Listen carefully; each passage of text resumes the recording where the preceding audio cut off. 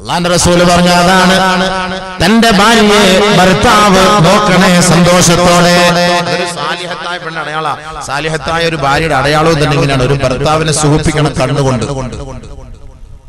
അതൊക്കെ ഈ ലൈനടി ലൈനടി സംവിധാനം എന്ന് പറഞ്ഞാൽ ഈ സൈറ്റ് അടി സൈറ്റ് അടി എന്ന് പറഞ്ഞാൽ ഒരു കണ്ണിട്ട് അടിക്കുക എന്നുള്ളത്. അതൊക്കെ ഡിമ്മടി ഡിമ്മടിച്ചു കൊടുക്കുക ബ്രൈറ്റ് അടിച്ചു കൊടുക്കുക എന്നൊക്കെ പറഞ്ഞാൽ അത് ഭർത്താവിന്റെ നേർക്കാണ്. ഭർത്താവിന്റെയും ഭാര്യയുടെ നേർക്കാണ് നബിയുന റസൂലുള്ളാഹി സ്വല്ലല്ലാഹു അലൈഹി വസല്ലം തങ്ങൾ പറയുകയാണ് അലാ ഉഖ്ബിറുക്കും ബിഖൈരി മാ യക്നിസുൽ മർഉ.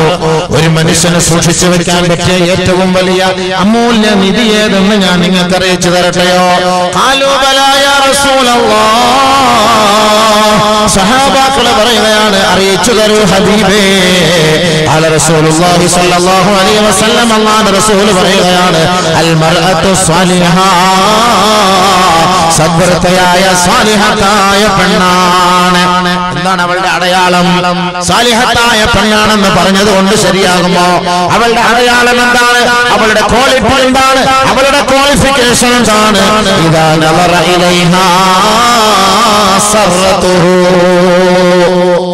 ഭർത്താവ് അവളെ നോക്കിയാൽ അവളുടെ കണ്ണിമകൾ കൊണ്ട് ഈ ഭർത്താവിനെ സന്തോഷിപ്പിക്കുന്ന പെണ്ണാണ്. അതാണ്. അങ്ങനെ ഭർത്താവ് എവിടെയെങ്കിലും പുറത്തേക്ക് ഇറങ്ങി പോകുന്ന സമയത്ത് ഓളിങ്ങനെ നോക്കും അല്ല എന്താ സെറീന? നിനക്കൊരു വിഷമം പോലെ. അല്ല ഇച്ച എപ്പോ വരും? എനിക്ക് എനിക്ക് വിശക്കുന്നു എനിക്ക് ഭയങ്കര ഒരു ഒരു ഒരു ഒരു ഒരു വിഷമം. ആ അങ്ങനെ അങ്ങനെ സന്തോഷം സന്തോഷമുള്ളത് കൊണ്ടാണ്. വേറെ പെണ്ണുങ്ങന്മാര് ഇച്ച പോന്നില്ലേ പോന്നില്ലേ? സമയത്തിന്? പെട്ടെന്ന് പോയി. എന്തിനാ ഓടിച്ചുവിടുന്ന? അടുത്ത ലൈൻ അവിടെ നിൽക്കുന്ന സംഭവം. ഈ ചായ ഓടിച്ചിട്ടുണ്ട് അടുത്ത ലൈൻ ഇങ്ങോട്ട് തുടങ്ങാൻ. അതിനാണ് ഓടിച്ചിട്ട് അപ്പൊ ഏതെങ്കിലും ഭാര്യമാര് ഭർത്താക്കന്മാരെ ഓടിക്കാൻ ശ്രമിച്ചാൽ മനസ്സിലായിക്കോ? അവക്ക് വേറെ സ്റ്റെപ്പിനുണ്ട് ഗൾഫിൽ നിന്ന് വരും കഷ്ടപ്പെട്ട് ആറു മാസം ലീവിന് വരും. രണ്ട് മാസം അഡ്ജസ്റ്റ് ചെയ്ത് തള്ളി തള്ളി വണ്ടി ഓടിക്കും. ഇച്ചാ പോകുന്നില്ല. ഇല്ലപ്പ എനിക്ക് ആറ് മാസം ഉണ്ട് പെണ്ണെ ആറ് മാസം ആറ് മാസം എന്നാ നമ്മുടെ കട ഇപ്പൊ തീരും. നമുക്ക് പുര കെട്ടണ്ടേ? പുര വെക്കണ്ടേ? അത് വെക്കണ്ടേ? ജാഗ വാങ്ങണ്ടേ? ഓട്. അതിന്റെ അർത്ഥം എന്താ സംഭവം? വേറെ അഡീഷണൽ സാധനം അടുത്തുണ്ട്. ഇങ്ങേരിടുന്ന് പോയെങ്കിൽ മാത്രമേ അത് ചാലുവാക്കാൻ പറ്റുള്ളൂ സംഭവം. ഓടിച്ചുവിടുകയാണ്. ഒരു മനസമാധാനത്തിനുള്ള ഒരു ആറ് മാസം പുറലോ നിൽക്കാന്ന് പറഞ്ഞാൽ നിർത്തുന്നില്ലല്ലോ ഈ പെണ്ണുങ്ങന്മാര്? ഓടിച്ചുവിടുകയല്ലേ സംഭവം? അതുകൊണ്ട് സ്വാലിഹത്തായ പെണ്ണാരാണ്.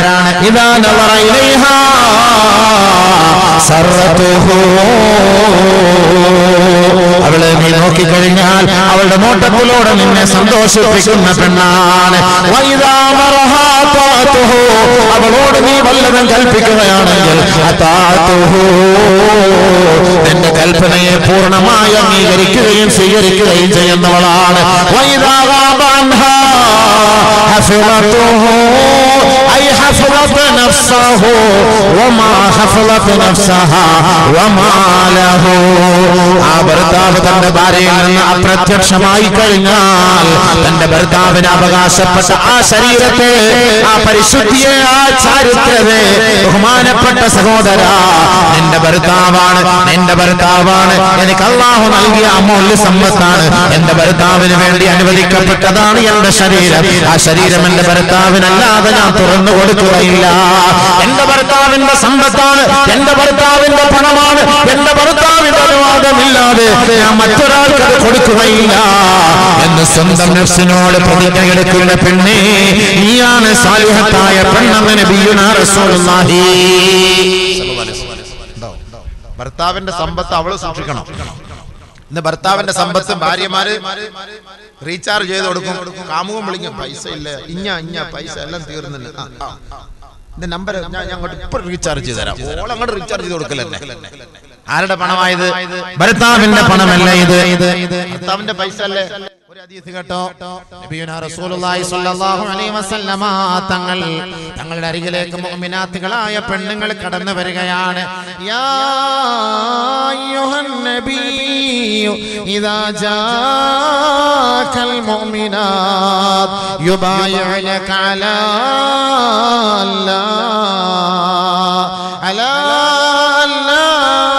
يشركن بالله شيئا ولا يسرقن ولا يزنين ولا يقتلن أولادهم ولا يأتين ببهتان يفترين بين أيديهن وأرجلهن ولا يعصينك في معروف فبايعهن واستغفر لهن الله. إن الله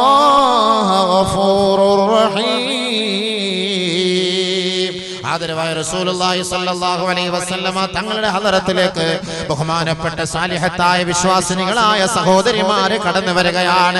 അള്ളാന്റെ റസൂലിന്റെ റസൂലിന്റെ ഹദറത്തിൽ കടന്നു വന്നിട്ട് ഹബീബായ തങ്ങളോട് പ്രതിജ്ഞ എടുക്കാൻ വേണ്ടി കടന്നു വരുമ്പോ ബഹുമാനപ്പെട്ട നബിയുന റസൂലുള്ളാഹി തങ്ങൾക്ക് അള്ളാഹു നൽകുന്ന കൽപ്പനയാണ്. ഹബീബേ അങ്ങയുടെ ഹദറത്തിൽ വരുന്ന പെണ്ണുങ്ങളോട് നിങ്ങൾ നൽകേണ്ട ഉപദേശം എന്താണ്? പെണ്ണുങ്ങളോട് അള്ളാഹുവിന്റെ കൽപ്പന പഠിപ്പിച്ചു കൊടുക്കുകയാണ്. ആദരവായ റസൂലുള്ളാഹി സ്വല്ലല്ലാഹു അലൈഹി വസല്ലമ തങ്ങളെ പറയുകയാണ്. ഹേ സഹോദരിമാരെ നിങ്ങൾ ശിർക്ക് വെക്കരുത്. അല്ലാഹുവിനെ ആരാധിക്കണമേ. നിങ്ങൾ മോഷ്ടിക്കരുത്. നിങ്ങൾ വ്യഭിചരിക്കരുത്. അസഭ്യം പറയരുത് അപരാധം കെട്ടിച്ചുമത്തരുത്. നിങ്ങൾ ആവശ്യമില്ലാതെ നിങ്ങൾ അനാവശ്യമായി നിങ്ങൾ നിങ്ങളുടെ മക്കളെ കുറിച്ച് അനാവശ്യങ്ങൾ പറഞ്ഞ് പ്രചരിപ്പിക്കരുത്. ഒരു അള്ളാഹ് നിരക്കാത്ത പ്രവൃത്തികളുമായി നിങ്ങൾ ബന്ധപ്പെടരുത്. അള്ളാഹുവിന്റെ റസൂൽ സല്ലല്ലാഹു അലൈഹി തങ്ങൾ ആറ് കാര്യങ്ങൾ പരിശുദ്ധമായ ഹദ- ഹദീസിലൂടെ ഖുർആനിന്റെ വീക്ഷണത്തിലൂടെ അള്ളാഹിന്റെ റസൂൽ ആ മഹദികൾക്ക് പഠിപ്പിച്ചു കൊടുക്കുകയാണ്. ആറ് കാര്യങ്ങൾ പഠിപ്പിച്ചു കൊടുത്തതിന് ശേഷം ആ സദസ്സിൽ നിന്ന് സഹോദരിമാര് മടങ്ങി പോകുമ്പോ അള്ളാഹുവിന്റെ റസൂലിനോട് ബഹുമാനപ്പെട്ട സഹോദരിമാര് ചോദിക്കുകയാണ് അലാ തുസാഫിഉനാ? എടുക്കുക എന്ന് പറഞ്ഞാൽ പ്രതിജ്ഞ പ്രതിജ്ഞ എന്ന് പറഞ്ഞാൽ കൈക്ക് പിടിച്ചിട്ടല്ലയോ നബിയെ പ്രതിജ്ഞ എടുക്കാറുള്ളത്? തുസാഫിഉനാ പക്ഷേ ഞങ്ങളുടെ കൈക്ക് അങ്ങ് പിടിച്ചില്ലല്ലോ ഹബീബേ. അത് പിന്നെ എങ്ങനെ പ്രതിജ്ഞയാകും നബിയെ? അല്ലാഹു റസൂൽ പറയുകയാണ് വല്ലാഹി ഇന്നി ലാ ഇന്നി ലാ ഇംറാ. ഞാനൊരു പെണ്ണിനെയും തൊടുകയില്ല സഹോദരി. ഞാനൊരു പെണ്ണിനെ സ്പർശിക്കുകയില്ല സഹോദരി. മഹതിയായ ആയിഷ ബീവി പറയുകയാണ് വല്ലാഹി അല്ലാഹുവിന്റെ റസൂലിന്റെ കൈ അജ്നബിയായ ഒരു പെണ്ണിന്റെ കരവുമായി സ്പർശിച്ച ചരിത്രമേ ഇല്ല. അതുകൊണ്ട് പ്രതിജ്ഞ എടുക്കാൻ വന്ന പെണ്ണുങ്ങൾ അള്ളാഹുവിന്റെ റസൂൽ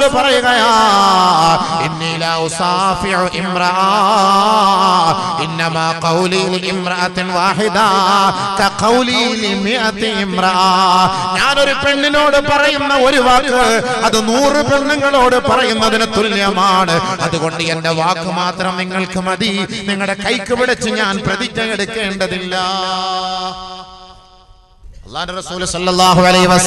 തങ്ങളുടെ നിന്ന് ആ വനിതകളെല്ലാം മടങ്ങി പോകുമ്പോ ബഹുമാനപ്പെട്ട സ്വഹാബത്ത് സ്ത്രീകളിൽപ്പെട്ട ഒരു പെണ്ണ് അള്ളാഹുവിന്റെ റസൂലിന്റെ അരികിലേക്ക് മറ്റൊരു സഹോദരിയെ പറഞ്ഞു വിടുകയാണ്.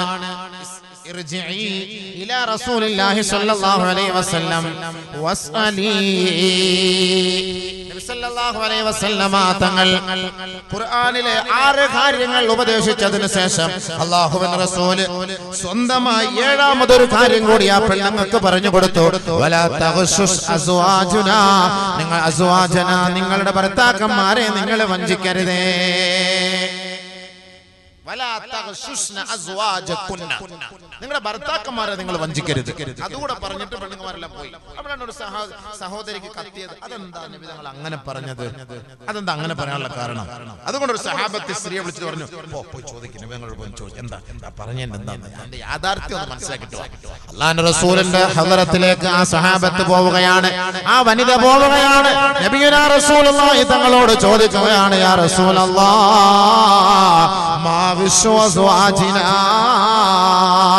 ഞങ്ങളുടെ ഭർത്താക്കന്മാരെ ഞങ്ങൾ വഞ്ചിക്കുകയാ എന്ന് പറയുന്നതിന്റെ യാഥാർത്ഥ്യം എന്താണ് നബിയേ? അങ്ങ് ഞങ്ങളോട് പറഞ്ഞുവല്ലോ സ്വാജകുന്നാ. ഞങ്ങളുടെ ഭർത്താക്കന്മാരെ നിങ്ങൾ വഞ്ചിക്കരുതേ എന്ന് പറഞ്ഞില്ലയോ? ഞങ്ങൾക്ക് മനസ്സിലായില്ല ഹബീബേ എന്താണ് ഇതിന്റെ യാഥാർത്ഥ്യം എന്ന് അറിയിച്ചു തരുമോ നബിയേ? അള്ളാഹുവിന്റെ റസൂൽ സല്ലല്ലാഹു അലൈഹി വസല്ലമ തങ്ങൾ പറയുകയാണ് തഅഖുദു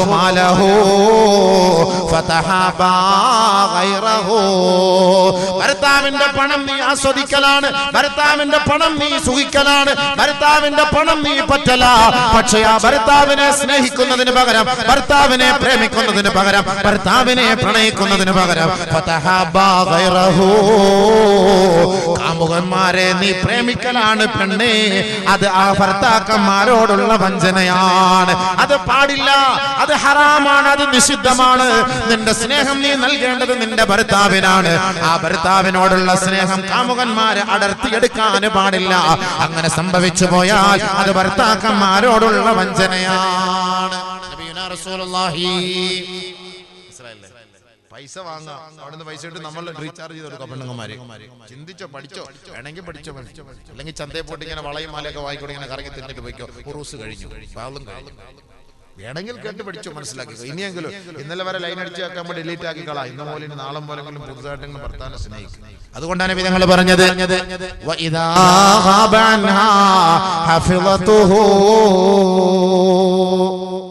ഭർത്താവിന്റെ അഭാവത്തിൽ തന്റെ ശരീരത്തെ സൂക്ഷിക്കുന്ന പെണ്ണ് മൊത്തം സൂക്ഷിക്കണം.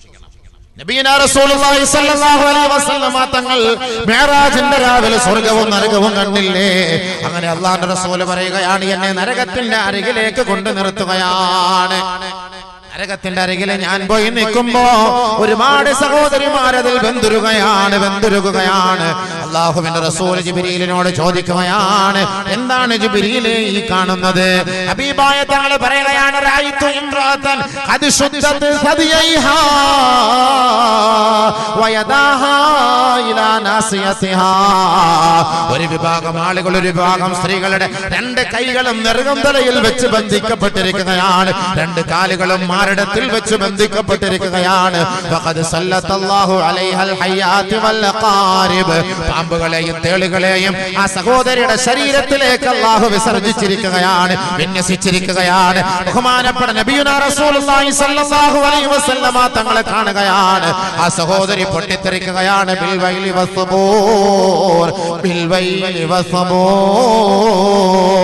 എന്റെ നാശമേ എന്റെ നാശമേ എന്റെ നാശമേ എനിക്കൊരു പരിഹാര മാർഗമുണ്ടോ? എനിക്കൊരു സംരക്ഷണമുണ്ടോ? സഹായമുണ്ടോ? ആ പെണ്ണിന്റെ നിലവിളി കേട്ടിട്ട് അള്ളാന്റെ റസൂൽ ബഹുമാനപ്പെട്ട ജിബ്രീലിനോട് ചോദിക്കുകയാണ്? ആരാണ് ജിബിരിയിലെ ഇതാരാണ് ജിബ്രീലെ? ആദരവായ റസൂലുള്ളാഹി സ്വല്ലല്ലാഹു അലൈഹി വസല്ലമ തങ്ങളോട് ബഹുമാനപ്പെട്ട ജിബ്രീൽ അലൈഹി സ്വലാത്തു വസ്സലാം പറയുകയാണ് അള്ളാഹുവിന്റെ റസൂലേ ഈ പെണ്ണിന്റെ സ്വഭാവം അങ്ങേക്ക് ഞാൻ ഒന്ന് വിവരിച്ചു തരട്ടെയോ ഹബീബേ? ഇന്നഹാ തൂതി ഫിറാശ സൗജിഹാ. തന്റെ ഭർത്താവ് വിദേശത്ത് പോയ സമയത്ത് തന്റെ ഭർത്താവ് ജോലിക്ക് പോയ സമയത്ത് തന്റെ ഭർത്താവിന്റെ അഭാവത്തിൽ അന്യപുരുഷന്മാർക്ക് വേണ്ടി ബെഡ്റൂം തുറന്നു കൊടുത്തവളാണ് നബിയേ. അടുക്കളയുടെ വാതിൽ തുറന്നു കൊടുത്തവളാണ് നബിയെ. തന്റെ പവിത്രമായ തന്റെ പരിശുദ്ധമായ തന്റെ ചാരിത്ര ശുദ്ധിയെ തകർത്തെറിയാൻ വേണ്ടി അന്യ പുരുഷന്മാർക്ക് വേണ്ടി കിടപ്പറ പങ്കിടാനുള്ള സൗകര്യം ഒരുക്കി കൊടുത്ത പെണ്ണ്. ആ പെണ്ണിന്റെ രണ്ട് മാരടങ്ങളും നരകത്തിന്റെ തൂണിൽ വലിച്ചു കെട്ടുകയാ. അവളുടെ രണ്ട് കാലുകളും മാരടത്തിൽ വെച്ച് ബന്ധിക്കുകയാണ്. പാമ്പുകളും തേളികളും വന്നവളെ ആക്രമിക്കുമ്പോ കൈകൊണ്ട് തടഞ്ഞു മാറ്റാനോ കാലുകൊണ്ട് തട്ടിയെറിയാനോ സാധിക്കാതെ അവൾ നിലവിളിയോടെ നിലവിളിയാണ് നിലവിളിയോടെ നിലവിളിയാണ്.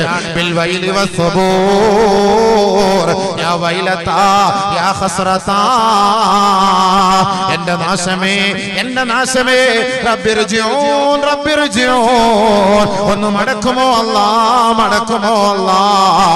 നാളെ ഈ ഒരു രംഗം അല്ലാഹുവിന്റെ റസൂൽ കണ്ടുവെങ്കിൽ എന്റെ പൊന്നു പെങ്ങളെ നിനക്ക് വേണ്ടിയല്ലയോ നിന്റെ ഭർത്താവ് മരുഭൂമിയിൽ കഷ്ടപ്പെടുന്നത്? നിന്റെ മക്കൾക്ക് വേണ്ടിയല്ലയോ മരുഭൂമിയിൽ കഷ്ടപ്പെടുന്നത്? ചോര നീരാക്കിക്കൊണ്ട് മരുഭൂമിയുടെ മടിത്തട്ടിൽ ഉണ്ണാതെ പണിക്കുഴി കഴിക്കാതെ വിശ്രമിക്കാതെ കഷ്ടപ്പെടുന്ന നിങ്ങളുടെ ഭർത്താക്കന്മാരെ അവരെ വഞ്ചിക്കരുത് പൊന്നു പെങ്ങളെ. അത് അള്ളാഹ് ഇഷ്ടപ്പെടാത്ത കാര്യമാ. നിങ്ങൾ സാലിഹത്തായ അടയാളങ്ങളിൽ നിന്ന് നിങ്ങളെ ഒഴിവാക്കപ്പെടുന്നതിന്റെ കാരണമാണ്. അതുകൊണ്ട് റസൂലുള്ളാഹി തങ്ങൾ പഠിപ്പിക്കുകയാ സാലിഹത്തായ പെണ്ണ് എന്ന് പറഞ്ഞാൽ അവളുടെ ശരീരത്തെയും ഭർത്താവിന്റെ സമ്പത്തിനെയും കാത്തു സൂക്ഷിക്കുന്ന പെണ്ണാണ്. അതാണ് സാലിഹത്തായ പെണ്ണ്. അല്ലാതെ സാലിഹ സാലിഹ എന്ന് പേരുള്ളത് കൊണ്ടൊന്ന് സാലിഹാവൂല. അത് ഫാസിദയായി മാറും സംഭവം. സാലിഹ എന്ന് പേരിട്ട് അങ്ങനെ സാലിഹാവുക അപ്പൊ അതുകൊണ്ട് എന്റെ സഹോദരിമാര് പ്രത്യേകം ശ്രദ്ധിക്കണം. സാലിഹത്തായ പെണ്ണിന്റെ അടയാളം.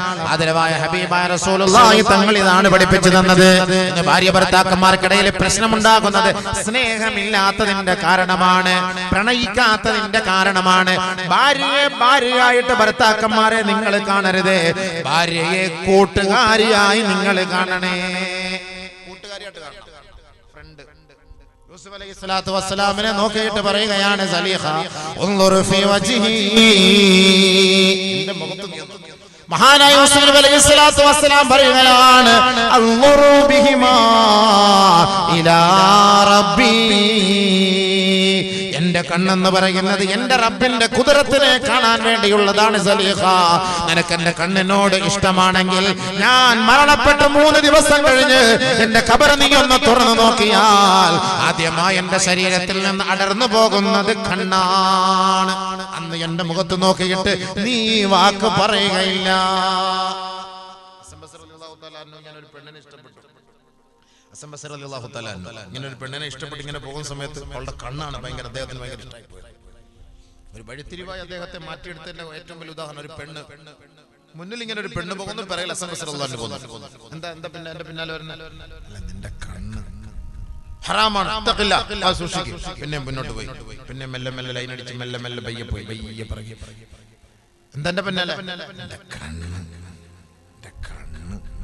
എന്റെ കണ്ണേ കണ്ണേ എന്നൊക്കെ വിളിക്കുന്ന സംഭവം മനസ്സിലായപ്പോ എന്റെ കണ്ണ് എന്റെ കുളിര് എന്റെ ചങ്ക് എന്തൊക്കെ വിളിക്കുന്ന വിളിയ സംഭവം? കാര്യം സാധിക്കാൻ വേണ്ടി കാര്യം സാധിച്ചു കഴിഞ്ഞാൽ കറിവേപ്പിലയെ പുല്ല് എന്തൊക്കെ പിന്നെ വേസ്റ്റ് സാധനങ്ങളെ കുറിച്ച് പിന്നെ അടുത്ത വർഷം അതിനു വേണ്ടി ഇങ്ങനെ ആദ്യം.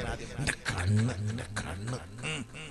ബഹുമാനപ്പെട്ട അവളുടെ പിന്നാലെ പോവുകയാണ്. വീടിന്റെ വാതിൽക്കൽ കയറുന്ന സമയത്ത് അവൾ തിരിഞ്ഞു നോക്കി എന്താണ് നിനക്ക് ആവശ്യം? എനിക്ക് നിന്റെ കണ്ണ്. ഹസൻ ബസർ റളിയല്ലാഹു തആല അൻഹു വന്നില്ലെന്ന് പറഞ്ഞു. അവരിറങ്ങി പോയി റൂമിൽ കയറി കത്തിയെടുത്ത് കണ്ണ് രണ്ട് തുളച്ചെടുത്ത് ഒരു പാത്രത്തിലിട്ട് ഭൃത്യന്റെ കയ്യിൽ കൊണ്ടുകൊടുത്തു.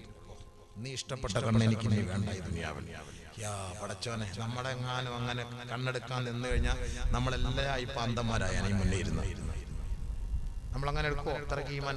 അന്ന് ആ ഒരു സംഭവത്തോട് കൂടിയാണ് ഹസൻ ബസർ അള്ളാഹു താല അള്ളാഹുമായിട്ട് അടുക്കുന്നത് വലിയ മഹാനായി മാറിയത് സംഭവം ഇഷ്ടപ്പെടാത്ത സാധനം. അള്ളാഹ് ഇഷ്ടപ്പെടാത്ത കാര്യം അള്ളാഹ് ഇഷ്ടപ്പെടാത്ത നീ ഇഷ്ടപ്പെടുന്ന എനിക്ക് വേണ്ട.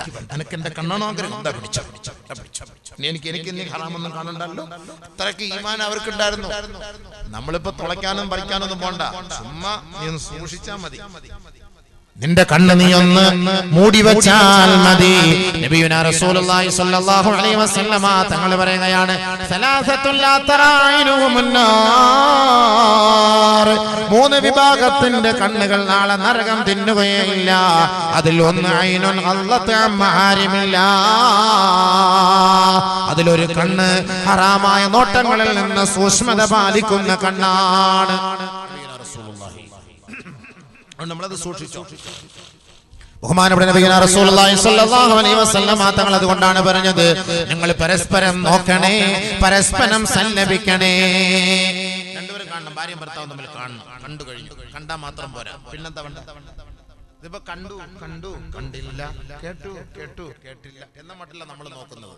കണ്ടോ? കണ്ടു. എന്നാ കണ്ടിട്ടില്ല. കേട്ടോ? കേട്ടു. കേട്ടിട്ടില്ല.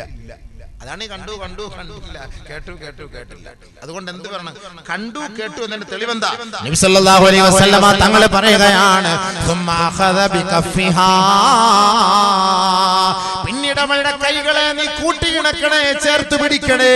അങ്ങനെ പിടിച്ചു കഴിഞ്ഞാൽ മിൻ ഖിലാലി അസാബിഇഹിമാ. കൈകളുടെ വിരലുകൾക്കിടയിലൂടെ ഭാര്യയുടെയും ഭർത്താവിന്റെയും പാവങ്ങളെ അള്ളാഹു കൊഴിപ്പിച്ചു കളയുമെന്ന് മുത്ത് മുഹമ്മദ് മുസ്തഫ സല്ലല്ലാഹു അലൈഹി വസല്ലം. കൈ ചേർത്ത് പിടിച്ചു കഴിഞ്ഞാൽ ഭാര്യയുടെ കൈക്കൊക്കെ പിടിച്ചിട്ട് എത്ര നാളായി? പിടിക്കോളെ.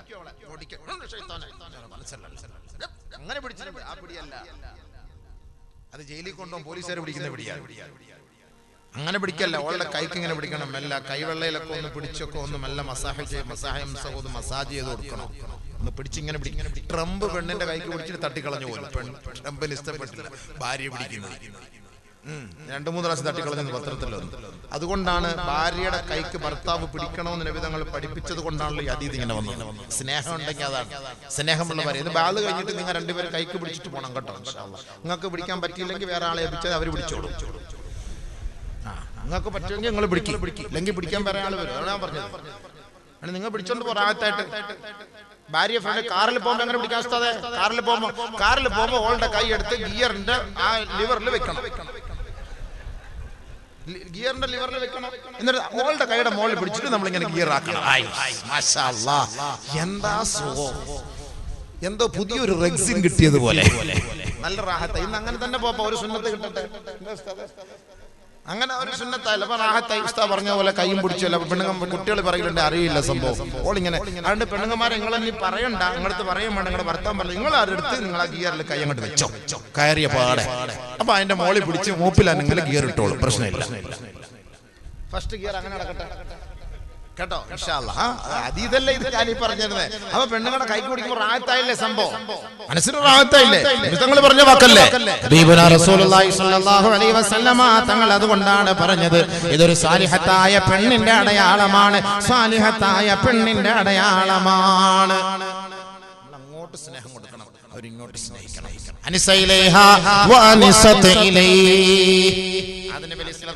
അതിന്റെ സ്നേഹിച്ചു അതിന്റെ സ്നേഹിച്ചു.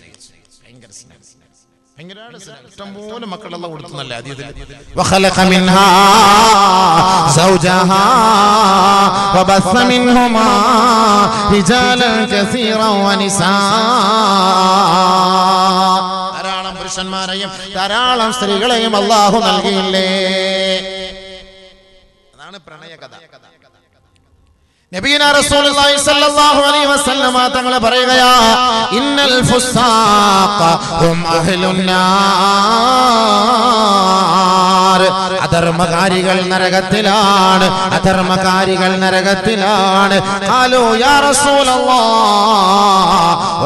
ഫുസാഖു യാ ആരെ ഉദ്ദേശിച്ചാണ് നബിയെ അങ്ങ് പറഞ്ഞത്?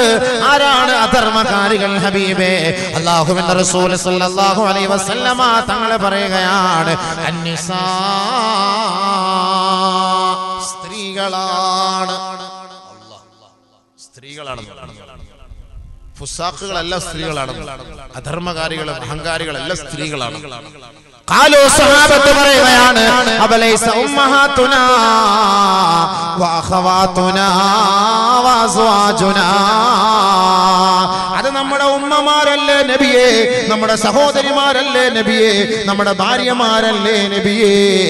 അള്ളാഹുവിന്റെ റസൂൽ സല്ലല്ലാഹു അലൈഹി വസല്ലമ തങ്ങളോട് സഹാബാക്കൾ ചോദിക്കുകയാണ് നബിയുന റസൂലുള്ളാഹി സല്ലല്ലാഹു അലൈഹി വസല്ലമ തങ്ങൾ പറഞ്ഞു അതേ കാലബല പക്ഷേ ശരി തന്നെയാണ് സഹാബ. ഞാൻ അവരുടെ കൂട്ടത്തിൽ നിന്ന് പ്രത്യേകമായി ഞാൻ എടുത്തു പറഞ്ഞ വിഭാഗത്തിൽപ്പെട്ടവരാണ്. ഇതാ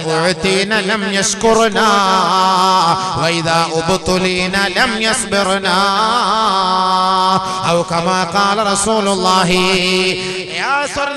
അവകാശികളായ സ്ത്രീകളെ കുറിച്ച് പറയുന്ന കൂട്ടത്തിൽ അല്ലാതെ റസൂൽ പറഞ്ഞത് പറയുകയാണ്. ഞാൻ പഠിപ്പിച്ചത് ഞാൻ പരിചയപ്പെടുത്തിയതും ഞാൻ പറഞ്ഞതുമായ സ്ത്രീകളെ കുറിച്ച് ഞാൻ പറയട്ടെയോ?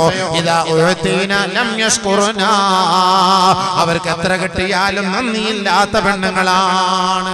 ഭർത്താക്കന്മാരെ കഷ്ടപ്പെട്ട് കൊണ്ടുപോയി അധ്വാനിച്ചു കൊടുക്കും സമ്പാദിച്ചു കൊണ്ടുപോയി കൊടുക്കും. അവൾ ഇഷ്ടപ്പെട്ട തന്ന് കിട്ടിയില്ല എങ്കിൽ അവൾ പറയും ഭർത്താവിന്റെ മുഖത്ത് നോക്കിയിട്ട് പറയും. ഞാൻ ഇരുപത് വർഷമായി നിങ്ങളെ ഒപ്പരം താമസിക്കുന്നു. ഇന്നേ വരെ നിങ്ങളിൽ ഒരു നന്മയും ഞാൻ കണ്ടിട്ടില്ല. അങ്ങനെ പറയുന്ന പെണ്ണ് ഫുസ്താക്കുകളിൽ പെട്ട പെണ്ണ നരകത്തിന്റെ അവകാശിനിയായ പെണ്ണ. പത്തൊമ്പത് മുക്കാൽ വർഷവും നന്മ ചെയ്തു കൊടുത്ത ഈ ഭർത്താവിന്റെ മുഖത്ത് നോക്കിയിട്ട് അവൾ പറഞ്ഞ ദിവസത്തിൽ ഒരു മാക്സി വാങ്ങി കൊടുക്കാതിരുന്നതിന്റെ പേരിൽ അവൾ പറഞ്ഞ ദിവസത്തിൽ ഒരു ലെഗിൻസ് വാങ്ങി കൊടുക്കാതിരുന്നതിന്റെ പേരിൽ അവൾ പറഞ്ഞ ദിവസത്തിൽ ബേക്കൽ ഫോർട്ടിൽ ഒന്ന് കൊണ്ടുപോകാത്തതിന്റെ പേരിൽ ഭർത്താവിന്റെ മുഖത്ത് നോക്കി യാതൊരു കൂസലുമില്ലാതെ അവൾ പറയുകയാണ് മാറായിത്തും ഹൈറൻ കത്ത് ഇന്നേ വരെ നിങ്ങൾ എനിക്കൊരു നന്മയും ചെയ്തിട്ടേ ഇല്ല എന്ന് പറയുന്ന പെണ്ണേ നീ നരകത്തിലാണ് പൊന്നുമോളെ നീ നരകത്തിലാ. അള്ളാഹുവിന്റെ റസൂൽ പറഞ്ഞ ഫുസാക്കുകളിൽ പെട്ടത് ഈ ക്വാളിറ്റിയുള്ള പെണ്ണാണ്. ചില പെണ്ണുങ്ങന്മാരുടെ സ്വഭാവമാണ് നമ്മ എത്ര സഹായിച്ചാലും അവളുമാർക്ക് അങ്ങോട്ട് തൃപ്തിയാവൂല. പത്ത് പതിനഞ്ച് വർഷമൊക്കെ നമ്മൾ സഹായിച്ചു. ഈ വർഷം മാന്ദ്യം പൈസ ഇല്ല ഫുലൂസ് ഇല്ല മോൾ പറഞ്ഞ അനുസരിച്ചുള്ള ലെഗൻസ് വാങ്ങിച്ചു കൊടുക്കാൻ പറ്റിയില്ല. അല്ലെങ്കിൽ നല്ല തിളങ്ങുന്ന പർദ്ദ വാങ്ങി കൊടുക്കാൻ പറ്റില്ല ബുലൂസ് ഇല്ല പക്ഷെ അത് അടുത്ത മാസം ആകട്ടെ ഞാൻ ഒന്നുകൂടെ പോയിട്ട്. അല്ലെങ്കിൽ നിങ്ങൾ ഇങ്ങനെ വെച്ചാ നിങ്ങൾ ഇങ്ങനെ വെച്ചാ. നിങ്ങളെ കാട്ടിൽ നല്ലത് അപ്പുറത്ത് ഔക്കറിച്ചായ സ്നേഹിച്ചാൽ മതിയായിരുന്നു. ഞാൻ നിങ്ങളെ കൊണ്ട് എന്താ ഫായിദ? ഒരു ഫായിദ ഇങ്ങനെ തന്നെ. എത്ര ദിവസം കൊണ്ട് ഞാൻ പറയും നിങ്ങളൊരു പർദ്ദ വാങ്ങിച്ച പർദ്ദ എന്താ ഇഷ്ടം പോലെ പർദ്ദ അലമാര തുറന്നു നോക്ക്. ഒരു രണ്ട് കുടുംബത്തിനുള്ള പർദ്ദയുണ്ട് ഇന്ന് വാങ്ങി ചോദിച്ചിട്ട് വാങ്ങി കൊടുക്കാത്തതിന്റെ പിന്നെ അവള് പറഞ്ഞ വാക്ക് നിങ്ങളെ കൊണ്ട് ഒരു മാഫി ഫായിദ എന്ന് പറഞ്ഞ നീ നരകത്തിലാണ് അല്ലാഹു അക്ബർ. وإذا ابتلين لم يصبرنا വല്ല ബുദ്ധിമുട്ടുകളോ പ്രയാസങ്ങളോ ക്ഷീണമോ തളർച്ചയോ രോഗമോ കടമോ ദുഃഖമോ രോദനമോ വ്യതയോ വന്നാൽ ക്ഷമ അവലംബിക്കാത്ത പെങ്ങളെ അള്ളാന്റെ റസൂൽ പറഞ്ഞു നീ നരകത്തിലാണ് നരകത്തിലാണ്. ക്ഷമിക്കണേ മോളെ ക്ഷമിക്കണേ പെങ്ങളെ. നിന്റെ ഭർത്താവിന്റെ പണം വരാത്തതിന്റെ പേരിൽ ഭർത്താവിനെ പുച്ഛിക്കരുത്. നിന്റെ ഭർത്താവിന്റെ ആരോഗ്യം കുറഞ്ഞു പോയതിന്റെ പേരിൽ ഭർത്താവിനെ പുച്ഛിക്കരുത്. നിന്റെ ഭർത്താവിനെ നിനക്ക് വേണ്ടവണ്ണം തൃപ്തിപ്പെടുത്താൻ കഴിയാത്തതിന്റെ പേരിൽ ആ ഭർത്താവിനെ നീ പുച്ഛിക്കരുതേ ഭർത്താവിനെ തള്ളിപ്പറയരുതേ. നിന്റെ ജീവിതത്തിൽ നീ ക്ഷമ അവലംബിച്ചാൽ അള്ളാന്റെ റസൂൽ പറയുകയാണ് നിനക്ക് ഏറ്റവും നല്ല പ്രതിഫലമായ സ്വർഗമാണ് പെങ്ങളെ. അതുകൊണ്ട് നിന്റെ ഭർത്താവിന്റെ പേരിൽ നിനക്ക് വല്ല ദുഃഖങ്ങളോ പരീക്ഷണങ്ങളോ വന്നാൽ നീ ക്ഷമിക്കണേ ക്ഷമിക്കണേ ക്ഷമ അവലംബിക്കണേ. അങ്ങനെ ക്ഷമിക്കാത്ത പെണ്ണ് നരകത്തിന്റെ പെണ്ണാണെന്ന് ഹബീബുന ഷഫിയോന റസൂലുള്ളാഹി. ക്ഷമിക്കാത്ത പെണ്ണ്. ഭർത്താവിന്റെ വിഷയത്തെ കുറച്ച് ശ്രമിക്കണം നിങ്ങൾക്ക് എന്തായാലും അറിയാം നിങ്ങൾക്ക് റൂമിലോട്ട് കയറി അടുക്കളയിൽ കയറിയാൽ മിക്സി ഓണാക്കാം മാക്സി ഓണാക്കാം എല്ലാം പരിപാടി തീർന്നല്ല. നെയ്പത്തലുമായി കോയിക്കറിയായി റാഹത്തായി. രണ്ട് ഷൂഷു പൊട്ടിയോ? നമ്മൾ രാവിലെ പോയി പുതിയ ബസ് സ്റ്റാൻഡിൽ പോയി നിന്ന് വെയിൽ കൊണ്ട് അവിടെ വെയിൽ കൊണ്ട് വെള്ളം കുടിച്ച് അവിടെ നിന്ന് വെള്ളം കുടിച്ച് ചോറ് തിന്നാൻ പറ്റാതെ എല്ലാം കഴിക്കും ഭയങ്കര റാഹത്ത് കുറഞ്ഞ് വിഷമിച്ച് അങ്ങനെ രാത്രി ക്ഷീണിച്ച് വരുന്ന സമയത്ത് നിങ്ങൾ ആ ഭർത്താവിനെ സന്തോഷിപ്പിക്കേണ്ടതിന് പകരം വട വാങ്ങിന? മറന്നു നിങ്ങൾക്കറിയാം നന്ദി കെട്ട മനുഷ്യനങ്ങ ഞാൻ നന്ദിട്ട മനുഷ്യനാണ്. അല്ല മാങ്ങ മറന്നു പോയപ്പോ അള്ളാഹ് ആലോചിച്ചു. മാങ്ങ മറന്നു പറയുന്ന വാക്കാണ് പറയരുത്. ക്ഷമിക്കണം മോളെ. നീ ക്ഷമിക്കണം. അതാണ് സ്വാലിഹത്തായ അതാണ് സ്വാലിഹത്തായ ആ ക്ഷമ അവലംബിക്കണം. ഇനി നമ്മുടെ പെണ്ണുങ്ങന്മാർ എന്തെങ്കിലുമൊക്കെ ഈ മന്ദബുദ്ധികളാണ്. ഒരു ഇരുപത് പൈസ കുറവാ പെണ്ണുങ്ങന്മാർ സ്വാഭാവികമായിട്ട് അങ്ങനെയാണ്. അതുകൊണ്ട് ഞാൻ പറഞ്ഞ വാക്കല്ല. നാക്കിസാത്ത വാക്കല്ല വിധങ്ങൾ പറഞ്ഞാൽ. അപ്പൊ നമുക്ക് ഇഷ്ടപ്പെടാത്ത എന്തെങ്കിലുമൊക്കെ ഇങ്ങനെ പെണ്ണുങ്ങന്മാർ പറഞ്ഞാൽ നമ്മ കുറച്ച് സബൂറാക്കും. നമ്മുടെ ശൈലി അതാണ്. അല്ല പിന്നെ ഓളെ ഇങ്ങനെ എന്തെങ്കിലും ദേഷ്യപ്പെടുമ്പോ നിന്നെ മൊയ്യലി അടുത്താളെ കെട്ടി അവളും പ്രശ്നമാക്കി അവളെ മൊയ്യലി അടുത്താളെ കെട്ടി. അതാണ് നരേന്ദ്രമോദി പ്രശ്നം ഇറക്കിയത് ഇപ്പോ. ചുമ്മാ കാണുന്ന പാടെ എല്ലാരെയും മൊയ്യല്ലേ മൊയ്യല്ലേ അപ്പൊ കാസർഗോട്ടൊക്കെ അങ്ങനെയുള്ള എത്ര മൊയ്ജല്ലിയുടെ പാവം പിടിച്ച പെണ്ണുങ്ങന്മാരൊക്കെ ഉള്ള കഷ്ടം. കല്യാണം കഴിച്ചിട്ട് അങ്ങനെ വിട്ടിട്ട് അങ്ങോട്ട് പോകും രണ്ട് മൂന്ന് വെമ്മക്കളായി കഴിഞ്ഞാൽ അങ്ങനെ വിട്ടിട്ട് അങ്ങ് പോകും നമ്മ ഹിജറ പോവാ. അടുത്തടുത്ത് പോയി അടുത്ത ആളിനെ കെട്ടി ഹിജറ പോവാ. പാഹയന്റെ ഖാലിയ് വെട്ടി മാറ്റണം. ഇങ്ങനെ അങ്ങോട്ട് പോലെ പെണ്ണ് കെട്ടി അങ്ങനെ അങ്ങോട്ട് എത്ര ഞാനിപ്പോ മൂന്ന് കുട്ടികൾ മരിച്ചില്ലേ? വിധ കഷ്ടം. നമുക്ക് ഭയങ്കര വിഷമം വരും പലർക്കും നമ്മൾ ഇതൊക്കെ സൂക്ഷിക്കണം. ഒരു അമാനത്താണ് ഈ പെണ്ണെന്ന് പറയുന്നത്. അമാനത്തെ നമ്മൾ ഏറ്റെടുക്കുകയാണ്.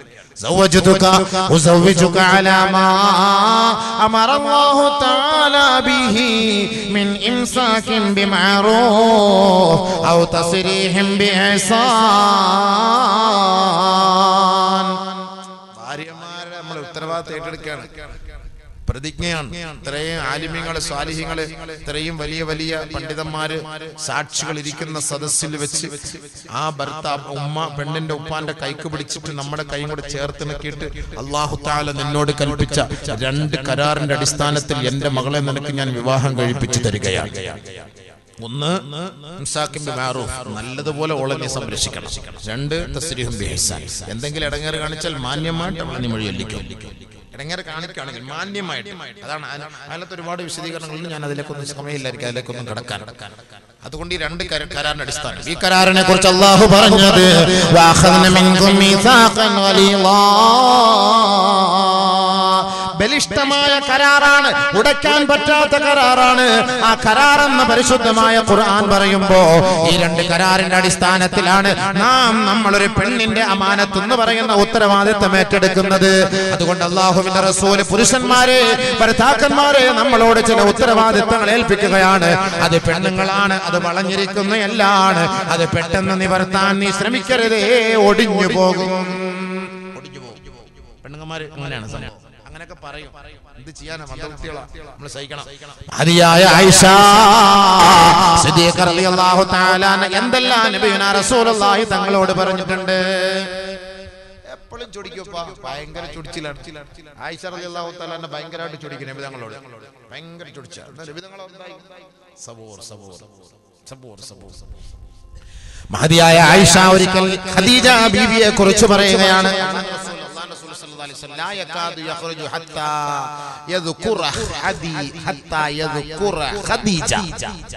അള്ളാന്റെ റസൂൽ എപ്പോൾ വീട്ടിൽ നിന്ന് പുറയിൽ നിന്ന് പുറത്തേക്ക് പോയാലും ഖദീജ ബീവിയെ കുറിച്ച് പറയാത്ത ഒരു സന്ദർഭമില്ല. അങ്ങനെ ആയിഷാർലി അള്ളാഹു താലാൻഹയോടൊപ്പം അള്ളാന്റെ റസൂൽ നടക്കുന്ന വേളയിൽ ബഹുമാനപ്പെട്ട നബിജന റസൂൽ തങ്ങൾ ഖദീജ ബീവിയെ കുറിച്ച് പുകഴ്ത്തി പറയുകയാണ്. എന്റെ ഖദീജ അങ്ങനെയാണ് എന്റെ ഖദീജ അവൾ ഇങ്ങനെ എന്റെ ഖദീജ അങ്ങനെയാണ് അങ്ങനെ ഇങ്ങനെ ഇങ്ങനെ ഇങ്ങനെ പുകഴ്ത്തി പുകഴ്ത്തി പറഞ്ഞു പറഞ്ഞു അങ്ങോട്ട് പെരുത്ത് പ്രഷർ കയറുന്നു കുറെ നേരമായിട്ട് ഇങ്ങനെ കയറുന്ന അങ്ങോട്ട് ആയിഷ ബീവിക്ക് കുറെ ഇങ്ങനെ പറയും പെണ്ണുങ്ങന്മാരെ അസൂയ ഉണ്ടോ? എന്നൊന്നും അല്ല തുടങ്ങിയത്. ആയിരത്തി നാനൂറ് വർഷം മുമ്പേ ഉണ്ട് സംഭവം. അതുകൊണ്ടല്ലേ അമ്മയ്ക്ക് രണ്ട് പെണ്ണെട്ടാൻ പറ്റാത്തത്. അല്ലെങ്കിൽ അമ്മയ്ക്ക് ഇപ്പൊ എത്ര രണ്ട് മൂന്നൊക്കെ പെണ്ണെട്ടെ വേറെ പെണ്ണുങ്ങന്മാരുടെ കാര്യം പറഞ്ഞാൽ തീർന്നു. ഭക്ഷണത്തിലെല്ലാം വിമ്മായിരിക്കും പിന്നെ. തൂറ്റലോടെ തൂറ്റലായിരിക്കും അപ്പൊ പറയും. പക്ഷെ എന്റെ സബിയ എനിക്ക് വേറൊരു പെണ്ണും വേണ്ട ഒന്നും വേണ്ട. അള്ളാ ഇത് മതിയേ ഇത് മതിയേ. സൂക്ഷിച്ച് സംസാരിച്ചോണം കേട്ടോ നമ്മ സംസാരിക്കുന്നത് നമ്മുടെ ഭാര്യ കേൾക്കാത്തോണ്ടാ ഞാൻ ഈ സംസാരിക്കുന്നത്. അതുകൊണ്ട് പ്രശ്നമില്ല. അവളിത് കേൾക്കുന്നില്ലല്ലോ. എത്രയോ ദൂരത്തേക്ക് ഇപ്പോ ഉറങ്ങിക്കാണും. അവളിപ്പോ എന്ത് കേൾക്കാൻ ഇതൊക്കെ എന്ന് പറഞ്ഞു കഴിഞ്ഞാൽ ഇങ്ങനെ ഓരോരുത്തർ കണ്ടോണ്ടിരിക്കുക അപ്പൊ നമ്മുടെ ഭാര്യയ്ക്ക് ആരും ഇതൊന്നും പറഞ്ഞൊന്നും കൊടുക്കൂല. അവിടെ ഒരു പ്രശ്നമില്ല. അപ്പൊ എന്തായാലും ഖദീജ അലി അള്ളാഹു താലാമിനെ കുറിച്ച് നബിതങ്ങൾ ഇങ്ങനെ ഇടയ്ക്കിടയ്ക്ക് ഇങ്ങനെ പറഞ്ഞുകൊണ്ടിരിക്കും ഒരു ദിവസം കൂടെ ചോടിച്ചിട്ട് ആയിഷ അലി അള്ളാഹു താലാന്ന് പറയുകയാണ് ഹൽ കാനത ഇല്ലാ ജൂസാ കിളവിയെ കിളവിയെ കുറിച്ച് എന്തിനാ നബി എന്റെ അടുത്ത് പറയുന്നത്? കിളവി കിളവി കിളവി. ഞാൻ പതിനെട്ടിന്റെ പൊന്ന്. അത് കിളവിയല്ലേ? നേരത്തെ ഞാൻ പറഞ്ഞല്ലോ അത് അംബാസഡർ ഞാൻ ബെൻസ്. هل كانت إلا عجوزا وقد أخلفك الله خيرا منها അവരെക്കാൾ ആ വയസ്സിയേക്കാൾ എത്രയോ ശ്രേഷ്ഠയായ പെണ്ണുങ്ങളെ അള്ളാഹു അങ്ങേക്ക് നൽകിയിരിക്കേ എന്തിനാണ് എപ്പോഴും ഖദീജ ഖദീജ എന്ന് പറയുന്നത് ആദരവായ റസൂലുള്ളാഹി തങ്ങൾക്കത് ഇഷ്ടപ്പെട്ടില്ല അള്ളാന്റെ റസൂലിന് വല്ലാത്ത ദേഷ്യമായി എത്രത്തോളം ഹദീസിൽ കാണാം ഹത്ത اهتز مقعد شعره مقدم شعره من الغضب അള്ളാഹുവിന്റെ റസൂലിന്റെ കോപം ആ കോപം തന്റെ ഉച്ചിമുടി ചലിക്കുമാർ ഉച്ചിമുടി ഇളകുമാർ ബഹുമാനപ്പെട്ട നബീന റസൂലുള്ളാഹി തങ്ങളുടെ മുഖത്ത് അത് വായിച്ചെടുക്കാൻ കഴിഞ്ഞു അള്ളാഹുവിന്റെ റസൂലിന്റെ മുഖത്ത് ആ കോപം ജ്വലിച്ചു നിൽക്കുന്നത് കാണാൻ കഴിഞ്ഞു ഖദീജ കളവി എന്ന് വിളിച്ചത് അള്ളാന്റെ റസൂൽ ഇഷ്ടപ്പെട്ടില്ല അങ്ങോട്ട് എന്റെ ഭാര്യ എപ്പോഴും ചെറുപ്പക്കാരിയെ കളവിയല്ല അങ്ങനെ മനസ്സിലാക്കണം. കണ്ണൂർ ജില്ലയിലൊക്കെ പുതിയാപ്പിള പുതിയാപ്പിള എന്ന് പറയുന്ന പോലെ തൊണ്ണൂറ് വയസ്സിലും എന്റെ പുതിയാപ്പിള എന്നെ അല്ലാ അല്ല എന്റെ മയ്യത്തന്റെ പുതിയാപ്പിളയുടെ കബറിനടുക്കൽ കൊണ്ട് നടക്കണമെന്ന് പറയും. അവിടെ എപ്പോഴും പുതിയാപ്പിളയാ എന്ന് പറയുന്ന പോലെ എന്റെ ഖദീജ അവൾ കിളവിയല്ല ഈശ. അള്ളാഹുവിന്റെ റസൂൽ ദേഷ്യം കൊണ്ട് പറയുകയാണ് ലാ വല്ലാഹി മാ ഖിലഫനി അല്ലാഹു ഖൈറൻ മിൻഹാ. ഇല്ല അവളേക്കാൾ ശ്രേഷ്ഠയായ ഒരു പെണ്ണിനെ ഒരു ഭാര്യയെ അള്ളാഹു എനിക്ക് നൽകിയിട്ടില്ല ഒറ്റ അടി അള്ളാഹു റസൂൽ അങ്ങോട്ട് അടിച്ചു. പിന്നെ അല്ല പിന്നെ. എപ്പോഴും അങ്ങോട്ട് പിന്നെ നീ അങ്ങോട്ട് ദേഷ്യപ്പെട്ട ഒരൊറ്റ അടി. ഇല്ല ഇല്ല. നിന്നെക്കാൾ അവളെക്കാൾ വലിയ ശ്രേഷ്ഠയായ പെണ്ണിനൊന്നും എനിക്ക് അള്ളാഹു തന്നിട്ടില്ല. എന്നിട്ട് എന്താ കാരണം പറഞ്ഞെടുത്തു? ബഹുമാനപ്പെട്ട നബിയുന റസൂലുള്ളാഹി തങ്ങൾ ആയിഷ ഖദീജ ബീവിയെ കുറിച്ച് പറയുകയാണ് ലഖദ് ആമനത് ബി ഇത് കഫറനി അന്നാസ് ജനങ്ങളെല്ലാം എന്നെ നിഷേധിച്ച് തള്ളിയപ്പോ എന്നെ പരിശുദ്ധമായ ദീനിലേക്ക് പിടിച്ചു നിർത്തിയത്. അള്ളാഹുവിന്റെ അസ്തിത്വത്തെ ഞാൻ വിളംബരം ചെയ്തപ്പോ ആദ്യമായി സ്ത്രീ സമൂഹത്തിൽ നിന്ന് ചങ്കൂറ്റത്തോടെ ധൈര്യസമേതം മുന്നോട്ട് വന്നത് അതെന്റെ ഖദീജയാണ് ആയിഷ. അന്നാസ്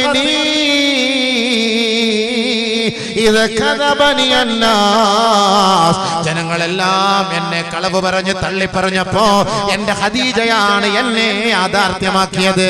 എന്റെ ഹദീജയാണ് ഞാൻ സത്യസന്ധനാണെന്ന് വിളിച്ചു പറഞ്ഞത്. ഇത് ഹർമനിയന്നാ സമ്പത്തില്ലാതെ പണമില്ലാതെ പരിശുദ്ധമായ തീര് നിലനിർത്താൻ പണമില്ലാതെ കഷ്ടപ്പെടുമ്പോ എന്റെ ഹദീജയാണ് പണം നൽകി എന്നെ സഹായിച്ചത് ഐഷ. മാത്രമല്ല ഔലാദാ.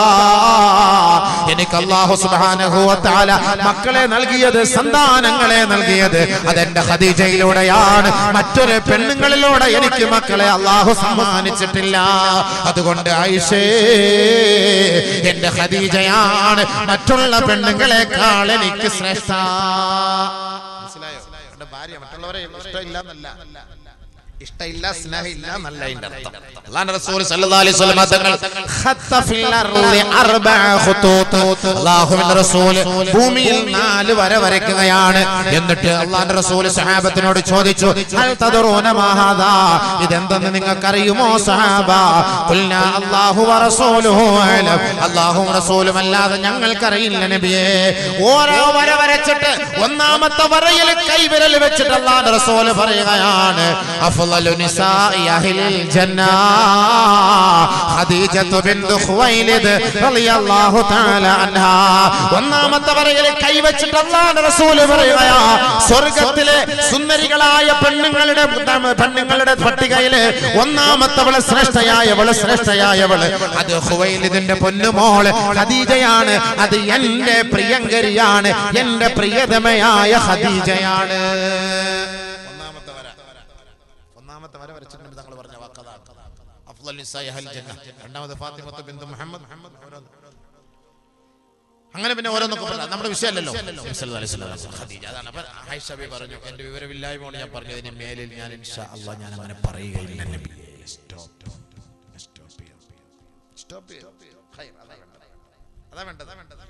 നമ്മൾ വെറുതെ ചൊടിച്ചിട്ട് ഭർത്താക്കന്മാരെ ചൊടിപ്പിച്ചിട്ട് എരികേറ്റി വിട്ട ഓം പോയിട്ട് രണ്ടാമത് കെട്ടി കഴിഞ്ഞാൽ പിന്നെ തീർന്നു. നിന്നെ ഇനി കെട്ടാൻ ആരുമില്ല.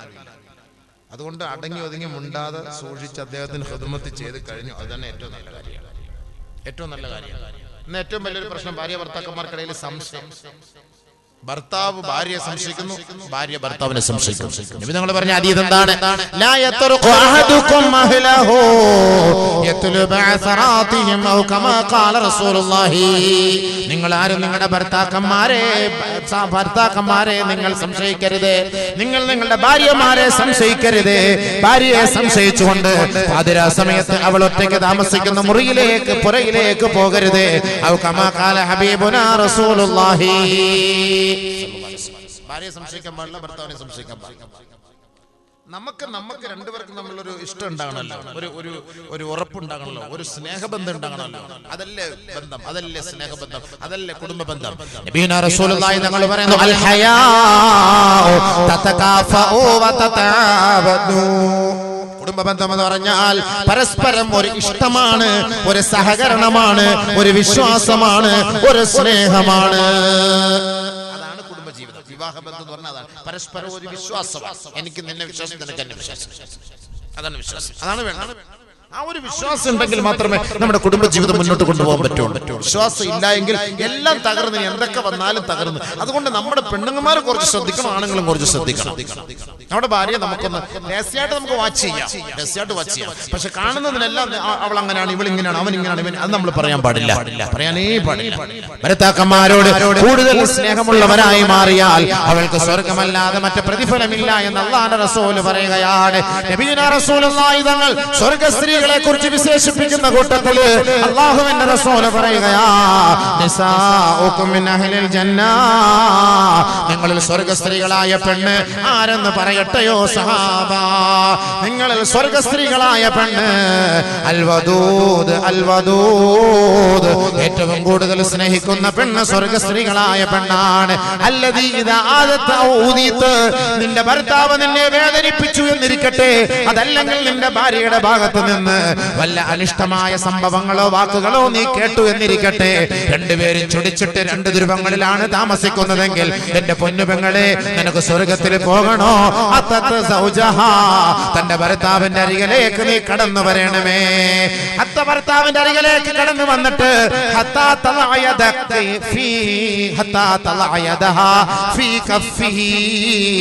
നിന്റെ കൈത്തണ്ട ആ ഭർത്താവിന്റെ കൈയുടെ ഉള്ളിൽ നീ വെക്കണേ ഫതഖൂൽ എന്നിട്ട് നീ പറയണം. ലാ അദൂഖു അംലൻ ഹത്താ തർളാ. എന്റെ ഇച്ഛ നിങ്ങൾ എന്നോട് സംസാരിക്കാത്ത സമയം നിങ്ങൾ എന്നോട് മുണ്ടാണ്ടിരുന്നാൽ നിങ്ങൾ എന്നോട് സഹകരിക്കാതിരുന്നാൽ എന്റെ മുഖത്ത് നോക്കി പുഞ്ചിരിക്കാതിരുന്നാൽ ലാ അദൂഖു അല്ലാ. ഒരു തുള്ളി വെള്ളം കുടിക്കുകയോ ഒരു പിടി ഭക്ഷണം കഴിക്കുകയോ ഞാൻ ചെയ്യുകയില്ല. അതുകൊണ്ട് എന്നോട് പൊറുക്കണേ എന്നോട് പൊറുക്കണേ എന്ന് പറയുന്ന പെണ്ണേ നീയാണ് സ്വർഗസ്ത്രീയായ പെണ്ണെന്ന് റസൂലുള്ളാഹി. വീണ്ടും എന്റെ ഹറബത്തിൽ ഒരു ഭർത്താവിന്റെ വീട്ടിൽ നിന്ന് ഒരു ഭാര്യ പുറത്തേക്ക് ഇറങ്ങിയാൽ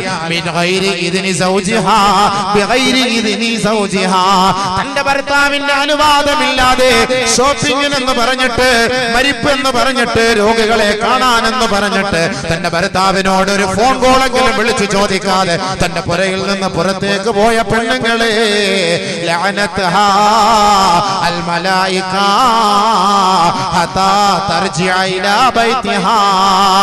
അവളുടെ മേൽ അള്ളാഹുവിന്റെ ശാപം ഇറങ്ങിക്കൊണ്ടിരിക്കുകയാ. അള്ളാഹുവിന്റെ കോപം ഇറങ്ങിക്കൊണ്ടിരിക്കുകയാണ്. അവൾ തന്റെ പുറയിലേക്ക് മടങ്ങി വരുന്നത് വരെ മാലാകമാർ അള്ളാഹുവിന്റെ മാലാകമാർ അവളെ ശവിക്കുകയാണ് ഭർത്താവിന്റെ അനുവാദമില്ലാതെ ഇറങ്ങിപ്പോയവളാ. ഭർത്താവിനോട് ഒരു ഫോൺ കോളിലൂടെ ചോദിച്ചിട്ട് ഭർത്താവിന്റെ അനുവാദം വാങ്ങാതെ ഇറങ്ങിപ്പോയവളാണ്. അള്ളാഹുവേ ഇവളെ നീ ശപിക്കണേ നാദാ ഇവളെ നീ ശപിക്കണേ നാദാ എന്ന് ആ ഭർത്ത ആ ഭാര്യയെ ആ പെണ്ണിനെ മാലാകമാർ ശപിച്ചു കൊണ്ടിരിക്കുമെന്ന് റസൂലുള്ളാഹി. ഒരു ഹദീസ് കൂടെ കേട്ടോ എന്റെ പൊന്നുമെങ്ങൾ നിങ്ങൾക്ക് നിങ്ങളുടെ ഭർത്താക്കന്മാരോടുള്ള ഉത്തരവാദിത്തവും കടമകളും ബാധ്യതകളും എത്രത്തോളം എന്ന് വെച്ചാൽ അള്ളാഹുവിന്റെ റസൂൽ സല്ലല്ലാഹു അലൈഹി വസല്ലമ തങ്ങൾ പറയുകയാണ് ഇദാ സല്ലത്തിൽ ഒരു പെണ്ണ് നമസ്കരിക്കുകയാ. വലം ആ നമസ്കാര ശേഷം തന്റെ ഭർത്താവിന് വേണ്ടി ഒരു ഭാര്യ ദുആ ചെയ്തില്ല എങ്കിൽ അവളുടെ സലാത്ത് നമ്മളെ മടക്കപ്പെടും. അവളുടെ നമസ്കാരം മടക്കപ്പെടും. തന്റെ ഭർത്താവിന് വേണ്ടി അവൾ ദുആ ചെയ്യുന്നത് വരെ അവളുടെ നമസ്കാരം അല്ലാഹു സ്വീകരിക്കുകയേ ഇല്ല എന്ന്. ഔ കമാ ഖാല റസൂലുള്ളാഹി. ഏതെങ്കിലും ഒരു ഭാര്യ ഈ പ്രഭാഷണം കേൾക്കുന്നുണ്ടെങ്കിൽ നിങ്ങളുടെ ഭർത്താവിനോട് എത്ര ചൊടിച്ച് നിങ്ങൾ ഇരുന്നാലും നിങ്ങളെ നമസ്കാരം കഴിഞ്ഞിട്ട് എന്റെ പൊന്നു പെങ്ങളെ അള്ളാഹുവേ എന്റെ ഇക്കാക്ക് പുറത്തു കൊടുക്കണേ അല്ലാ. എന്റെ കാക്ക് ആഫിയത്ത് നൽകണേ അല്ലാ. എന്റെ ഇക്കായുടെ ആഫിയത്താണ് ഞങ്ങളുടെ ജീവന്റെ തുടിപ്പ്. ഞങ്ങളുടെ ജീവിതത്തിന്റെ സ്പന്ദനം ഞങ്ങളുടെ ജീവിതത്തിന്റെ സന്തോഷം. എന്റെ ഇക്ക ജീവിച്ചിരിക്കലാണ്. അതുകൊണ്ട് അള്ളാഹുവേ എന്റെ ഇക്കാക്ക് ദീർഘായുസ് കൊടുക്കണേ അല്ലാ. എന്റെ ഇക്കാടെ കച്ചവടത്തിന് ബർക്കത്ത് ചെയ്യണേ അല്ല. എന്റെ ഇക്കാടെ യാത്രയെ നീ സംരക്ഷിക്കണേ അല്ല. എന്ന് ദുആ ചെയ്യണേ പെണ്ണുങ്ങളെ എന്ന് ദുആ ചെയ്യണേ പെണ്ണുങ്ങളെ. നിങ്ങൾ ഏത് വക്കത്ത് നമസ്കരിച്ചാലും എത്ര റക്അത്ത് നമസ്കരിച്ചാലും എത്ര സുന്നത്ത് നിങ്ങൾ നമസ്കരിച്ചാലും നിങ്ങളുടെ ഭർത്താവിനെ നിങ്ങൾ നമസ്കാരത്തിന് ശേഷം മറന്നു പോകരുത്.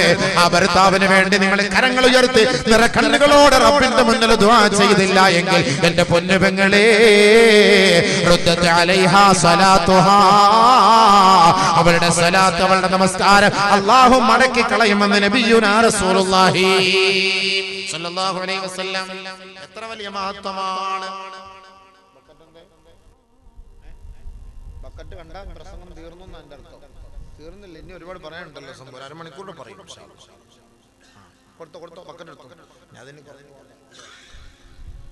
പോലെ പോലെ ഇപ്പൊ പറഞ്ഞില്ല പെണ്ണുങ്ങളും ആണുങ്ങന്മാരും തമ്മിലുള്ള എല്ലാം പറഞ്ഞു അവിടെ സമാധാനത്തോടെ ഇരുന്നോ ആ ഭാഗത്തോട്ട് പറയാം ഇത് കൊടുത്ത് എന്റെ ബക്കറ്റ് ബക്കറ്റ് പോയാ കണ്ടില്ല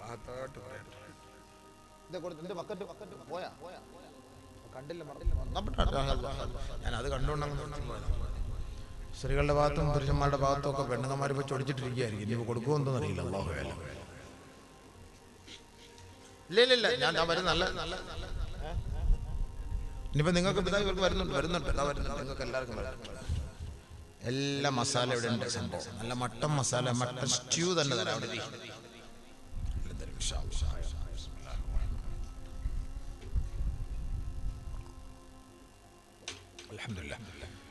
എല്ലാവരും ഒന്ന് വരുമ്പോൾ സഹായിക്കണം കേട്ടോ. എന്റെ ഭർത്താക്കന്മാര് ഭാര്യമാര് ശ്രദ്ധിക്കേണ്ട കുറെ കാര്യങ്ങൾ ഇതൊക്കെ നമ്മൾ ശ്രദ്ധിക്കണം പഠിക്കണം. ഇതിന്റെ എപ്പോഴേ ബാലിലൂടെ കേൾക്കുക? എപ്പോ കേൾക്കൂതല്ല ബാൽ ബാൽ ബാൽ എന്ന് പറഞ്ഞിട്ട് ചുമ്മാ അങ്ങനെ മിണ്ടാതെ പോയാൽ കേൾക്കണ്ട പഠിക്കണ്ട ഇതൊക്കെ. അവിടെ ഇരിക്കും കുറച്ചു നേരം. ഏടപ്പം നിങ്ങൾ ധൃതി പിടിച്ച് പോകുന്നത് അവിടെ ഇരിക്കപ്പാ എവിടെ പോകുന്നത് ധൃതി അല്ല എനിക്ക് ഞാൻ ഇനി തിരുവനന്തപുരം വരെ പോകണം കൊല്ലം വരെ പോകണം സുബൈ കഴിഞ്ഞ് നാളെ എത്ര മണിക്ക്? എത്താം അള്ളാഹു എന്റെ കൈ തന്നെ പാങ്ങില്ലാതിരുന്നിട്ട് തന്നെ എന്നെ ലീവ് എടുത്ത് ചോദിച്ചിട്ട് പറ്റില്ല ഉസ്താദ് വന്നേ തീരുള്ളൂ എന്നെ. ഭീഷണിപ്പെടുത്തി വരുത്തിയതാ. അതുകൊണ്ട് അവിടെ ഇരി, അവിടെ ഇരി. പറാഹത്തായിട്ട് പറഞ്ഞുതരാം കേക്ക്. അൽഹംദുലില്ലാ. ഭാര്യ ഭർത്താക്കന്മാരുടെ കടമകൾ ഹക്കുകൾ നമ്മൾ മനസ്സിലാക്കണം. ഒരു ഭർത്താവിന്റെ ഭാര്യയുടെ കടമ എന്താ? ഭർത്താവിന് ദ്വാരക്കണം. കാരണം എത്ര ഹക്കാണ് ഭർത്താവ് എന്ന് പറഞ്ഞാൽ ആരാ നിങ്ങൾ വിചാരിച്ചത്? ആരങ്ങൾ വിചാരിച്ചത്? എന്താ പിന്നെ റോബോട്ട് മിഷൻ അങ്ങക്ക് ഭക്ഷണം ഉണ്ടാക്കി തരുന്ന സാധനം പൈസ ഉണ്ടാക്കി തരുന്ന എ ടി എം ആയി സാധനം. അങ്ങോട്ട് കുനിച്ചു നിർത്താ ഒരു വര വരയ്ക്കുക പൈസ എടുക്കുക. അതല്ല അതിന്റെ അർത്ഥം. ഭർത്താവ് എന്ന് പറഞ്ഞാൽ ആരാണ് നബീന റസൂലുള്ളാഹി സ്വല്ലല്ലാഹു അലൈഹി വസല്ലമ തങ്ങൾ പറയുകയാണ്? ഭർത്താവിനോടുള്ള ഉത്തരവാദിത്തം എന്താണ്? യാ മഅശറൻ നിസാ بحق أزواجكن عليكن. لجعلت المرأة منكن تمسح الغبار عن قدمي زوجها بخد وجهها.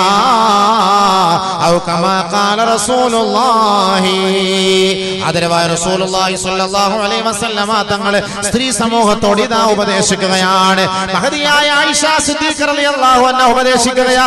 ഏ സ്ത്രീ സമൂഹമേ നിങ്ങളുടെ ഭർത്താക്കന്മാരോടുള്ള കടമകൾ നിങ്ങൾ മനസ്സിലാക്കിയിരുന്നുവെങ്കിൽ ഭർത്താക്കന്മാരോടുള്ള ഉത്തരവാദിത്തങ്ങൾ നിങ്ങൾ അറിഞ്ഞിരുന്നുവെങ്കിൽ ആ ഭർത്താവിന്റെ കാലിന്റെ കീഴിലുള്ള പൊടി നിങ്ങളുടെ നാവ് കൊണ്ട് നിങ്ങൾ നക്കിയെടുക്കുമായിരുന്നു. മനസ്സിലായോ? നമ്മുടെ ഇച്ചാന്റെ ഇച്ചായോടുള്ള ഉത്തരവാദിത്തം മനസ്സിലായോ? ഇന്ന് പോയിട്ട് കാലടിച്ച് നക്കിക്കോ കുറച്ച്. നക്ക ഒന്നും വേണ്ട ചെരുപ്പെങ്കിലും തുടച്ചു കൊടുത്ത വലിയ കാര്യം.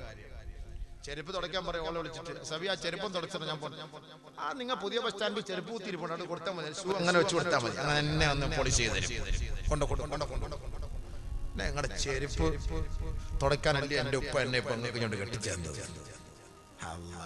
അങ്ങനത്തെ പെണ്ണുങ്ങന്മാരപ്പ പറഞ്ഞിട്ട് കാര്യമുണ്ട് എന്നാ അടുത്തൊരു അതീത് കേട്ടാലോ ഏതെങ്കിലും ഒരു ഭാര്യ ഭാര്യയുടെ ഹക്കെന്ന് പറഞ്ഞാൽ കുറഞ്ഞ കാര്യമാണോ അവള് അവളുടെ ഉത്തരവാദിത്വം നിറവേറുകയില്ല എപ്പോ ലൗസാലത്ത് في منخريه من منخريه സദീദ ومن الآخر دم മൂക്കിന്റെ രണ്ട് ദ്വാരത്തിലെ ഒരു ദ്വാരത്തിലൂടെ രക്തവും മറ്റൊരു ദ്വാരത്തിലൂടെ അഴുക്കും.